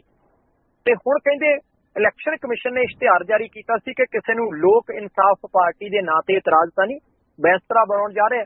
ਤੇ ਕਹਿੰਦੇ ਰਵਾਇਤੀ ਪਾਰਟੀਆਂ ਨੇ ਇਸ ਮੁੱਦੇ ਨੂੰ ਇਹਦੇ ਨਾਲ ਪੇਸ਼ ਕੀਤਾ ਕਿ ਆਪਸ ਦੇ ਵਿੱਚ ਬੈਂਸ ਭਰਾਵਾਂ ਦੀ ਤੇ ਨਵਜੋਤ ਸਿੰਘ ਸਿੱਧੂ ਦੀ ਜਿਹੜੀ ਉਹ ਬਣਹਟੀ ਹੈ, ਇਹ ਅੱਡੋ ਅੱਡ ਹੋ ਗਏ ਨੇ। ਪਰ ਸਿਮਰਜੀਤ ਸਿੰਘ ਬੈਂਸ ਨੇ ਦੋ ਚੀਜ਼ਾਂ ਸਪਸ਼ਟ ਕਰ ਦਿੱਤੀਆਂ। ਉਹ ਕਹਿੰਦੇ, ਪਾਰਟੀ ਸਾਡੀ ਰਜਿਸਟਰਡ ਹੈ, ਇਹ ਗੱਲ ਪੱਕੀ ਹੈ ਤੇ ਇਹ ਗੱਲ ਵੀ ਕਹਿੰਦੇ ਕੱਚੀ ਨਹੀਂ ਕਿ ਅਸੀਂ 2017 ਦੀਆਂ ਪੰਜਾਬ ਵਿਧਾਨ ਸਭਾ ਚੋਣਾਂ ਆਵਾਜ਼ੇ ਪੰਜਾਬ ਫਰੰਟ ਦੇ ਬੈਨਰ ਹੇਠ ਹੀ ਲੜਾਂਗੇ। ਕਿਸੇ ਨਾਲ ਗੱਠਜੋੜ ਹੋਵੇ ਨਾ ਹੋਵੇ ਕੱਲਿਆਂ ਲੜਨੀਆਂ ਪੈਣ, ਆਮ ਆਦਮੀ ਪਾਰਟੀ ਨਾਲ ਰਲ ਕੇ ਲੜਨੀਆਂ ਪੈਣ, ਕਾਂਗਰਸ ਨਾਲ ਸਮਝੌਤਾ ਕਰਕੇ ਲੜਨੀਆਂ ਪੈਣ, ਪਰ ਕਹਿੰਦੇ ਅਸੀਂ ਚਾਰ ਬੰਦੇ, ਬੈਂਸ ਭਰਾ ਨਵਜੋਤ ਸਿੱਧੂ ਤੇ ਪ੍ਰਗਟ ਸਿੰਘ ਅਸੀਂ ਇਕੱਠੇ ਰਵਾਂਗੇ, ਸਾਡੇ ਵਿੱਚ ਕੋਈ ਬੰਦਾ ਪਾੜ ਨਹੀਂ ਪਾ ਸਕਦਾ। ਤੇ ਉਹਨਾਂ ਨੇ ਇਹ ਵੀ ਕਹਿ ਦਿੱਤਾ ਕਿ ਵੱਧ ਤੋਂ ਵੱਧ 4 ਜਾਂ 5 ਨਵੰਬਰ ਨੂੰ ਅਸੀਂ ਇਸ ਗੱਲ ਦਾ ਖੁਲਾਸਾ ਕਰ ਦੇਣਾ ਹੈ ਕਿ ਸਿਆਸੀ ਤੌਰ ਤੇ ਅਸੀਂ ਕਿੰਨੀਆਂ ਪੰਜਾਬ ਦੀਆਂ ਵਿਧਾਨ ਸਭਾ ਸੀਟਾਂ ਤੋਂ ਚੋਣ ਲੜਨੀ ਹੈ, ਕਿਹੜੀ ਪਾਰਟੀ ਦੇ ਨਾਲ ਰਲ ਕੇ ਲੜਨੀ ਹੈ ਤੇ ਕਿਹੜੇ ਮੁੱਦਿਆਂ ਨੂੰ ਜਿਹੜਾ ਉਹ ਸਾਹਮਣੇ ਰੱਖ ਕੇ ਲੜਨੀ ਹੈ। ਸੋ ਟਵਾਣਾ ਸਾਹਿਬ ਦੇਖਦੇ ਆ ਕਿ 4 ਤੇ 5 ਨਵੰਬਰ ਤੱਕ ਨਵਜੋਤ ਸਿੰਘ ਸਿੱਧੂ ਜਿਹੜੇ ਆ ਉਹ ਕਿੱਧਰ ਨੂੰ ਲੈ ਕੇ ਜਾਂਦੇ ਆ, ਪੰਜਾਬ ਦਾ ਮਸਲਾ? ਤੇ ਜੇਕਰ ਉਹਨਾਂ ਨੇ ਆਉਣ ਵਾਲੇ ਸਮੇਂ ਦੇ ਵਿੱਚ ਕਿਸੇ ਇੱਕ ਪਾਰਟੀ ਦੇ ਵਿੱਚ ਰੜੇਵਾ ਜਾਂ ਗੱਠਜੋੜ ਕਰਨ ਦਾ ਮਨ ਬਣਾ ਲਿਆ ਤਾਂ ਫਿਰ ਰੌਲਾ ਰੱਪਾ ਜਿਹੜਾ ਉਹ ਕਿਸੇ ਹੋਰ ਤਰੀਕੇ ਦਾ ਪਊਗਾ ਤੇ ਪੰਜਾਬ ਦੀ ਸਿਆਸਤ ਦੇ ਵਿੱਚ ਥੋੜੀ ਜਿਹੀ ਤਬਦੀਲੀ ਜਿਹੜੀ ਆ ਵੀ ਸਕਦੀ ਹੈ। ਤੇ ਟਵਾਣਾ ਸਾਹਿਬ ਨਾਲ ਦੀ ਨਾਲ ਜੇ ਮੈਂ ਗੱਲ ਦੋ ਗੱਲਾਂ ਜਿਹੜੀਆਂ ਸਾਂਝੀਆਂ ਜ਼ਰੂਰ ਕਰਨੀਆਂ ਚਾਹੂੰਗਾ। ਇੱਕ ਤਾਂ ਅੱਜ ਜਲੰਧਰ ਦੇ ਵਿੱਚ ਦੇਸ਼ ਭਗਤੀ ਯਾਦਗਾਰ ਹਾਲ ਦੇ ਵਿੱਚ ਗਦਰੀ ਬਾਬਿਆਂ ਦਾ ਮੇਲਾ ਸ਼ੁਰੂ ਹੋ ਗਿਆ। ਜੀ। ਤਕਰੀਬਨ ਤਕਰੀਬਨ ਮਾਝੇ ਤੇ ਦੁਆਬੇ ਦਾ ਇੱਕੋ ਇੱਕ ਐਸਾ ਮੇਲਾ, ਉਹ ਵੱਖਰੀ ਗੱਲ ਹੈ ਕਿ ਮਾਝੇ ਤੇ ਦੁਆਬੇ ਦੇ ਲੋਕਾਂ ਦੀ ਜਗ੍ਹਾ ਮਾਲਵੇ ਦੇ ਲੋਕ ਬਹੁਤ ਸ਼ਿੱਦਤ ਦੇ ਨਾਲ ਆਉਂਦੇ ਨੇ। ਤੇ ਇਹ ਮੇਲਾ ਭਰਿਆ ਪਿਆ ਜੀ 2 ਦਿਨਾਂ ਦਾ ਮੇਲਾ ਹੈ, ਨਹੀਂ ਤਾਂ ਆਮ ਤੌਰ ਤੇ 3 ਦਿਨਾਂ ਦਾ ਹੁੰਦਾ ਹੈ, ਪਰ ਐਤਕੀ ਦੀਵਾਲੀ ਦੇ ਕਰਕੇ ਤੇ ਕਈ ਹੋਰ ਤਿਉਹਾਰ ਆਉਣ ਕਰਕੇ 2 ਦਿਨਾਂ ਦਾ ਮੇਲਾ ਸੀ ਤੇ ਅੱਜ ਸਵੇਰੇ ਸ਼ੁਰੂ ਹੋ ਗਿਆ ਕਵੀ ਦਰਬਾਰ ਵੀ ਹੋ ਚੁੱਕਿਆ ਹੈ। ਦਸਤਾਵੇਜ਼ੀ ਜਿਹੜੀਆਂ ਫਿਲਮਾਂ ਉਹ ਇਸ ਵੇਲੇ ਵਿਖਾਈਆਂ ਜਾ ਰਹੀਆਂ। ਇਹਦੇ ਨਾਲ ਵਿਚਾਰ ਚਰਚਾ ਜਿਹੜੀ ਹੈ ਕੱਲ ਹੋਣੀ ਹੈ। ਉਮੀਦ ਹੈ ਕਿ ਕਨਈਆ ਕੁਮਾਰ ਜਿਹੜਾ ਦਿੱਲੀ ਤੋਂ ਵਿਦਿਆਰਥੀ ਆਗੂ ਹੈ, ਉਹ ਵੀ ਆਉਣਾ ਹੈ। ਉਹਦੇ ਸਾਥੀ ਜਿਹੜੇ ਨੇ, ਉਹਨਾਂ ਨੇ ਵੀ ਉੱਥੇ ਪਹੁੰਚਣਾ, ਵਿਚਾਰ ਚਰਚਾ ਦੇ ਵਿੱਚ ਹਿੱਸਾ ਵੀ ਲੈਣਗੇ। ਨਾਟਕਾਂ ਦੀ ਪੂਰੀ ਰਾਤ ਜਿਹੜੀ ਹੈ, ਉਹ ਕੱਲ ਦੀ ਹੋਣੀ ਹੈ। ਤੇ ਸਭ ਤੋਂ ਵੱਡੀ ਗੱਲ ਟਵਾਣਾ ਸਾਹਿਬ ਕੇ ਸੈਂਕੜੇ ਪ੍ਰਕਾਸ਼ਕ ਆਏ ਹੋਏ ਨੇ ਅੱਜ ਜਲੰਧਰ ਦੀ ਧਰਤੀ ਦੇ ਉੱਤੇ ਕੱਲ ਤੱਕ ਰਹਿਣਗੇ। ਤੇ ਇਹਨਾਂ ਸੈਂਕੜੇ ਪ੍ਰਕਾਸ਼ਕਾਂ ਨੇ ਇਸ ਵੇਲੇ ਹਜ਼ਾਰਾਂ ਟਾਈਟਲ ਜਿਹੜੇ ਹੈ, ਪੰਜਾਬੀ, ਹਿੰਦੀ ਤੇ ਅੰਗਰੇਜ਼ੀ ਕਿਤਾਬਾਂ ਦੇ ਉੱਥੇ ਲਾਏ ਹੋਏ ਨੇ। ਤੇ ਬੜੀ ਸਕੂਨ ਦੀ ਗੱਲ ਲੱਗਦੀ ਹੈ ਕਿ ਐਤਕੀ ਵਿਦਿਆਰਥੀ ਵਰਗ ਤੇ ਨੌਜਵਾਨ ਵਰਗ ਜਿਹੜਾ ਹੈ ਗਦਰੀ ਬਾਬਿਆਂ ਦੇ ਇਸ ਦੇਸ਼ ਭਗਤੀ ਯਾਦਗਾਰ ਹਾਲ ਜਲੰਧਰ ਦੇ ਵਿੱਚ ਲੱਗੇ ਮੇਲੇ 'ਚ ਪਹੁੰਚ ਰਿਹਾ ਹੈ। ਉੱਥੇ ਕਿਤਾਬਾਂ ਦੀ ਖਰੀਦ ਦੇ ਵੱਲ ਉਹਨਾਂ ਦਾ ਵਿਸ਼ੇਸ਼ ਤੌਰ ਤੇ ਉਤਸ਼ਾਹ ਹੈ ਤੇ ਉਮੀਦ ਕਰਦੇ ਆ ਕਿ ਇਸ ਵਾਰ ਘੱਟੋ ਘੱਟ ਪੰਜਾਬੀ ਗਦਰੀ ਬਾਬਿਆਂ ਦੇ ਇਸ ਮੇਲੇ ਦੇ ਵਿੱਚ ਆਪਣੇ ਮੱਥੇ ਤੇ ਲੱਗਾ ਹੋਇਆ ਉਹ ਕਲੰਕ ਜਿਹੜਾ ਜ਼ਰੂਰ ਧੋਣ ਦੇ ਵਿੱਚ ਕਾਮਯਾਬ ਹੋਣਗੇ ਕਿ ਪੰਜਾਬੀਆਂ ਨੇ ਕਿਤਾਬਾਂ ਤੋਂ ਆਪਣੀ ਵਿੱਥ ਜਿਹੜੀ ਪਾ ਲਈ ਹੈ ਪੰਜਾਬੀਆਂ ਨੇ ਕਿਤਾਬਾਂ ਦੇ ਨਾਲੋਂ ਆਪਣਾ ਨਾਤਾ ਤੇ ਤੇ ਮੋਹ ਜਿਹੜਾ, ਉਹ ਬੁਰੀ ਤਰ੍ਹਾਂ ਤੋੜ ਲਿਆ। ਪੂਰੀ ਰਾਤ ਜਿਹੜਾ ਉਹ ਮੇਲਾ ਚੱਲਣਾ ਹੈ, ਸੋ ਵੇਖਦੇ ਆ ਜੀ ਕਿ ਇਸ ਮੇਲੇ ਦੇ ਰਾਹੀਂ ਪੰਜਾਬ ਦੇ ਵਿੱਚ ਕਿਹੜੀ ਨਵੀਂ ਲਹਿਰ ਜਾਂ ਕਿਹੜੀ ਨਵੀਂ ਮੁਹਿੰਮ ਜਿਹੜੀ ਸ਼ੁਰੂ ਹੁੰਦੀ ਹੈ, ਜਿਹੜੀ ਕਿ ਪੰਜਾਬ ਨੂੰ ਅਸਲ ਸ਼ਬਦਾਂ ਦੇ ਵਿੱਚ ਰੰਗਲਾ ਪੰਜਾਬ ਸੂਬਾ ਬਣਾਉਣ ਚ ਭਵਿੱਖ ਚ ਕਾਮਯਾਬ ਜ਼ਰੂਰ ਹੋਏਗੀ ਜੀ। ਜੀ ਬਾਟ ਸਾਹਿਬ ਬਹੁਤ ਬਹੁਤ ਧੰਨਵਾਦ, ਮਿਹਰਬਾਨੀ, ਸਤਿ ਸ਼੍ਰੀ ਅਕਾਲ। ਸ਼ੁਕਰੀਆ ਜੀ। ਮਿਹਰਬਾਨੀ। ਥੈਂਕ ਯੂ ਸਤਿ ਸ਼੍ਰੀ ਅਕਾਲ। ਸੋ ਦੋਸਤੋ ਇਸ ਨਾਲ ਆਪਣੇ ਟੀਮ ਮੈਂਬਰ ਪਰਮੇਸ਼ ਸਿੰਘ ਬਾਟ ਜੁੜੇ ਸੀ। ਤੇ ਕੁਝ ਇੱਕ ਕਮਰਸ਼ੀਅਲ ਇਸ ਤੋਂ ਬਾਅਦ ਆਪ ਜੀ ਦਾ ਸਵਾਗਤ।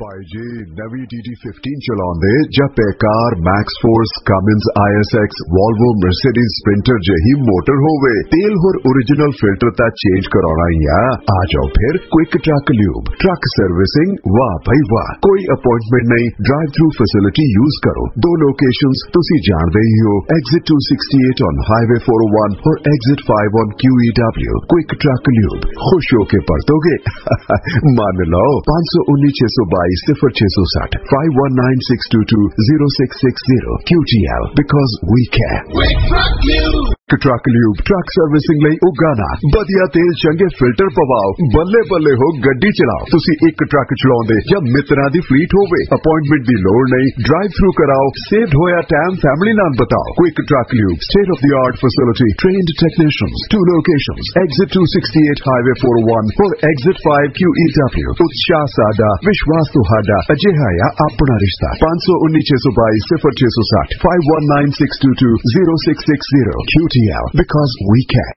ਲਓ ਦੋਸਤੋ ਲਾਈਨਾਂ ਇਸ ਵਕਤ ਖੁੱਲੀਆਂ ਨੇ, ਤੁਸੀਂ ਕੋਈ ਗੱਲਬਾਤ ਕਰਨੀ ਹੋਵੇ ਤਾਂ ਆਪ ਜੀ ਦਾ ਇਸ ਪ੍ਰੋਗਰਾਮ ਦੇ ਵਿੱਚ ਸਵਾਗਤ ਹੈ ਦੀਵਾਲੀ ਦਾ ਤਿਉਹਾਰ ਬੜੇ ਉਤਸ਼ਾਹ ਦੇ ਨਾਲ ਮਨਾ ਲਿਆ ਤੇ ਕਾਫੀ ਸਾਰੀਆਂ ਰੌਣਕਾਂ ਰਹੀਆਂ ਨੇ, ਪਰ ਜੋ ਮੈਂ ਵੇਖਿਆ, ਵਾਚਿਆ ਕਿ ਇਸ ਵਾਰੀ ਜਿਹੜਾ ਲੋਕਾਂ ਦੇ ਮਨਾਂ ਦੇ ਵਿੱਚ ਥੋੜੀ ਸਚੇਤ ਕਹਿ ਲਈਏ ਜਾਂ ਮੰਦਵਾੜਾ ਕਹਿ ਲਈਏ ਪਟਾਕਿਆਂ ਤੇ ਜਾਂ ਖਰੀਦੋ ਫਰੋਖਤ ਤੇ ਲੋਕਾਂ ਦਾ ਧਿਆਨ ਜਿਹੜਾ ਘਟ ਰਿਹਾ। ਵੈਸੇ ਤਾਂ ਇਹ ਅੱਛੀ ਗੱਲ ਹੈ ਕਿ ਇਸ ਮਾਮਲੇ 'ਚ ਲੋਕ ਸਚੇਤ ਹੋਏ ਨੇ ਆਪਣੇ ਪੈਸੇ ਨੂੰ ਅੱਗ ਲਾ ਕੇ ਖੁਸ਼ੀ ਮਨਾਉਣਾ। ਕੋਈ ਬਹੁਤੀ ਸਿਆਣਪ ਨਹੀਂ ਹੁੰਦਾ। ਤੇ ਦੂਸਰਾ ਪੋਲੂਸ਼ਨ ਹੈ ਜਿਹੜਾ, ਉਹ 30% ਦੀ ਜਿਹੜੀ ਖਾਸ ਕਰਕੇ ਕੂੜਾ ਕਚਰਾ ਹੈ, ਜਿਹੜਾ ਅਸੀਂ ਹੂੰਜ ਹੂੰਜ ਕੇ ਗਲੀਆਂ ਦੇ ਵਿੱਚ ਸੁੱਟਦੇ ਆ ਉਹ 30% ਦੀ ਤੋਂ ਵੱਧ ਹੈ ਜਿਹੜਾ 30% ਦੀ ਉਸ ਦੇ ਵਿੱਚ ਇਜ਼ਾਫਾ ਹੋ ਜਾਂਦਾ ਹੈ। ਤੇ ਕਿਉਂਕਿ ਇਹਨਾਂ ਸਮਾਨ ਦੀ ਖਰੀਦੋ ਫਰੋਖਤ ਤੇ ਹੋਰ ਬਹੁਤ ਸਾਰੀਆਂ ਚੀਜ਼ਾਂ। ਤੇ ਇਸ ਦੌਰਾਨ ਫਿਰ ਉਹ ਵੱਡੇ ਪੱਧਰ ਤੇ ਜਿਹੜਾ ਗਲੀਆਂ ਦੇ ਵਿੱਚ ਗੰਦ ਹੈ, ਜਿਹੜਾ ਸੁੱਟਿਆ ਜਾਂਦਾ ਹੈ। ਤੇ ਜਿਹੜਾ ਖੁਸ਼ੀ ਹੈ, ਖੁਸ਼ੀ ਦਾ ਮਤਲਬ ਇਹ ਨਹੀਂ ਕਿ ਅਸੀਂ ਪੈਸੇ ਨੂੰ ਹੀ ਅੱਗ ਲਾ ਕੇ ਬਰੂਦ ਨੂੰ ਅੱਗ ਲਾ ਕੇ ਹੀ ਦੀਵਾਲੀ ਮਨਾ ਸਕਦੇ ਹਾਂ। ਕਿਸੇ ਗਰੀਬ ਦੇ ਚਿਹਰੇ ਤੇ ਅਗਰ ਤੁਸੀਂ ਮੁਸਕਰਾਹਟ ਲਿਆਉਂਦੇ ਹੋ, ਕਿਸੇ ਲੋੜਵੰਦ ਨੂੰ ਕੋਈ ਲੋੜੀਂਦੀ ਚੀਜ਼ ਦਿੰਦੇ ਹੋ, ਤਾਂ ਮੈਂ ਸਮਝਦਾ ਕਿ ਇਹ ਇੱਕ ਵੱਡੀ ਖੁਸ਼ੀ ਹੈ। ਭਾਵੇਂ ਇਸ ਦੇ ਨਾਲ ਕਿਤੇ ਨਾ ਕਿਤੇ ਉਤਸ਼ਾਹ ਜਿਹੜਾ ਲੋਕਾਂ ਦੇ ਵਿੱਚ ਆਉਂਦਾ ਹੈ, ਜਿਹੜੇ ਤਿਹਾਰ ਨੇ, ਜ਼ਿੰਦਗੀ 'ਚ ਉਤਸ਼ਾਹ ਸਾਨੂੰ ਬਖਸ਼ਦੇ ਨੇ ਕਿ ਹਰ ਇੱਕ ਨੂੰ ਹੁੰਦਾ ਹੈ ਕਿ ਦੀਵਾਲੀ ਹੈ ਜਾਈਏ, ਇਕੱਠੇ ਦੀਵਾਲੀ ਮਨਾਈਏ, ਸਾਰਾ ਫੈਮਿਲੀ ਇਕੱਠੇ ਹੋਵੇ ਖਾਦਾ ਪੀਤਾ ਜਾਂ ਪਾਠ ਪੂਜਾ ਜੋ ਕਰਦੇ ਆ। ਕੁਝ ਇਸ ਤੋਂ ਦੌਰਾਨ ਲੋਕ ਜੂਆ ਵੀ ਖੇਡਦੇ ਆ। ਇਹ ਵੀ ਇੱਕ ਰਵਾਇਤ ਬਣ ਗਈ ਹੈ, ਜਿਹੜੀ ਕੁਰੈਤ ਹੈ। ਤੇ ਇਸ ਦੇ ਨਾਲ ਨਾਲ ਜਿਸ ਤਰ੍ਹਾਂ ਮੁੰਬਈ ਦੇ ਵਿੱਚ ਅੱਗ ਲੱਗਣ ਦੀ ਘਟਨਾ ਸਾਹਮਣੇ ਆਈ ਹੈ, ਤੇ ਬੇਲੋੜੀ ਕਾਲ ਵੀ ਇਸ ਦੇ ਵਿੱਚ ਕਈ ਸਾਰੀਆਂ ਸਮੱਸਿਆਵਾਂ ਨੂੰ ਕ੍ਰੀਏਟ ਕਰਦੀ ਹੈ। ਕਿਉਂਕਿ ਜਦੋਂ ਸਮੇਂ ਤੋਂ ਪਹਿਲਾਂ ਪਹੁੰਚਣ ਦੀ ਜ਼ਰੂਰਤ ਮਹਿਸੂਸ ਕਰਦਾ ਕੋਈ ਵੀ ਵਿਅਕਤੀ, ਤੇ ਫਿਰ ਉਸ ਦੌਰਾਨ ਜਿਹੜੀ ਕਾਲ ਦੇ ਵਿੱਚ, ਕਾਲ ਜਿਹੜਾ ਕਿਸੇ ਨਾ ਕਿਸੇ ਰੂਪ ਦੇ ਵਿੱਚ ਆਉਂਦਾ ਹੈ। ਦੂਜੇ ਬੰਨੇ ਜੋ ਦੇਸ਼ ਦੇ ਹਾਲਾਤ ਚੱਲ ਰਹੇ ਨੇ, ਗਾਹੇ ਬਗਾਏ ਜਿਹੜੀ ਫਾਇਰਿੰਗ ਹੋ ਰਹੀ ਹੈ, ਉਸ ਦੌਰਾਨ ਜਿਹੜਾ ਬਿਹਾਰ ਦੇ ਵਿੱਚ ਇੱਕ ਜਿਹੜਾ ਵਿਅਕਤੀ ਭਾਰਤੀ ਫੌਜ ਦੇ ਵਿੱਚ ਸੀਗਾ ਆਰਐਸਪੁਰਾ ਸੈਕਟਰ ਦੇ ਵਿੱਚ ਜਿਹੜੀ ਗੋਲੀਬਾਰੀ ਹੋਈ ਸੀ, ਉਸ ਦੇ ਵਿੱਚ ਬਿਹਾਰ ਦਾ ਰਹਿਣ ਵਾਲਾ ਜਤਿੰਦਰ ਸਿੰਘ ਜਿਹੜਾ ਸੀ, ਸ਼ਹਾਦਤ ਨੂੰ ਪ੍ਰਾਪਤ ਹੋ ਗਿਆ। ਸੋ ਉਸ ਦੀ ਬੇਟੀ ਨੇ ਆਪਣੇ ਪਿਤਾ ਦਾ ਸੰਸਕਾਰ ਕਰਨ ਵਕਤ ਇਹ ਅਹਿਦ ਲਿਆ ਕਿ ਉਹ ਬੀਐਸਐਫ ਦੇ ਵਿੱਚ ਭਰਤੀ ਹੋਵੇਗੀ ਤੇ ਆਪਣੇ ਪਿਤਾ ਦੀ ਮੌਤ ਦਾ ਬਦਲਾ ਕਿਸੇ ਨਾ ਕਿਸੇ ਰੂਪ ਦੇ ਵਿੱਚ ਲਵੇਗੀ। ਹੈਲੋ? ਸਤਿ ਸ਼੍ਰੀ ਅਕਾਲ ਜੀ ਹੋਲਡ ਰੱਖਿਓ ਤੁਸੀਂ ਆਉਂਦੇ ਰਹੋ। ਸਤਿ ਸ਼੍ਰੀ ਅਕਾਲ ਕੌਣ ਬੋਲ ਰਹੇ ਹੋ? ਆ ਤੁਸੀਂ ਆਉਂਦੇ ਰਹੋ ਜੀ। ਹਾਂਜੀ ਭਾਜੀ ਮੈਂ ਨਾ ਉਹ ਸੁਣਿਆ ਸੀਗਾ ਪੁਰਸ਼ੋਤਮ ਸਿੰਘ ਦਾ ਮੈਨੂੰ ਸ਼ੂਗਰ ਆ ਮੈਨੂੰ ਮੈਨੂੰ ਮਾੜਾ ਜਿਹਾ ਸੌਣ ਹੋਇਆ ਜਾਂ ਤੇ ਮੈਨੂੰ ਉਹਨਾਂ ਦਾ ਪਲੀਜ਼ ਨੰਬਰ ਦੇ ਦਿਓ। ਹੋਲਡ ਰੱਖਿਓ ਜੀ ਤੁਸੀਂ ਮੈਂ ਤੁਹਾਨੂੰ ਨੰਬਰ ਬੋਲ ਦਿੰਦਾ ਉਹਨਾਂ ਦਾ। ਸੋ ਇੱਕ ਵਕਫਾ ਲੈਣਾ ਦੋਸਤੋ ਵਕਫੇ ਤੋਂ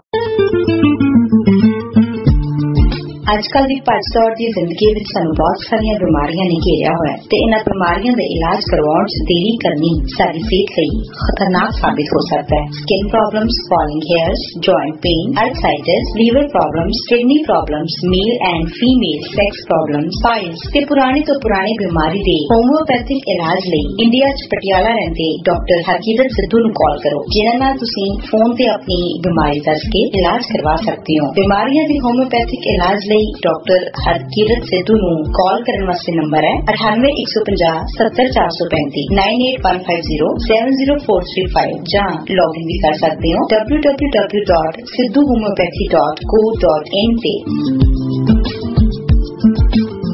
ਤੇ ਜਿਸ ਤਰ੍ਹਾਂ ਦੀਵਾਲੀ ਦੇ ਮੌਕੇ ਤੁਸੀਂ ਵੇਖੋ ਕਿ ਗਲੀਆਂ ਬਾਜ਼ਾਰਾਂ ਦੇ ਵਿੱਚੋਂ ਬਰੂਦ ਦੀ ਖੁਸ਼ਬੂ ਆਉਂਦੀ ਹੈ ਕਿਉਂਕਿ ਇਹਨਾਂ ਜਿਹੜਾ ਬਰੂਦ ਪਟਾਕਿਆਂ ਦੇ ਰੂਪ ਦੇ ਵਿੱਚ ਬਾਜ਼ਾਰਾਂ ਦੇ ਵਿੱਚ ਜਦੋਂ ਵੱਜਦਾ ਹੈ ਫੂਕਿਆ ਜਾਂਦਾ ਹੈ ਬੰਬ ਵੱਜਦੇ ਨੇ ਆਤਿਸ਼ਬਾਜ਼ੀਆਂ ਚੱਕੀਆਂ ਅਨਾਰ ਫੁੱਲ ਚੜੀਆਂ ਜੋ ਵੀ ਅਸੀਂ ਵਜਾਉਂਦੇ ਹਾਂ ਉਸ ਦੌਰਾਨ ਜਿਹੜੀ ਉਹ ਬਰੂਦ ਫਿਰ ਉੱਥੇ ਅਹ,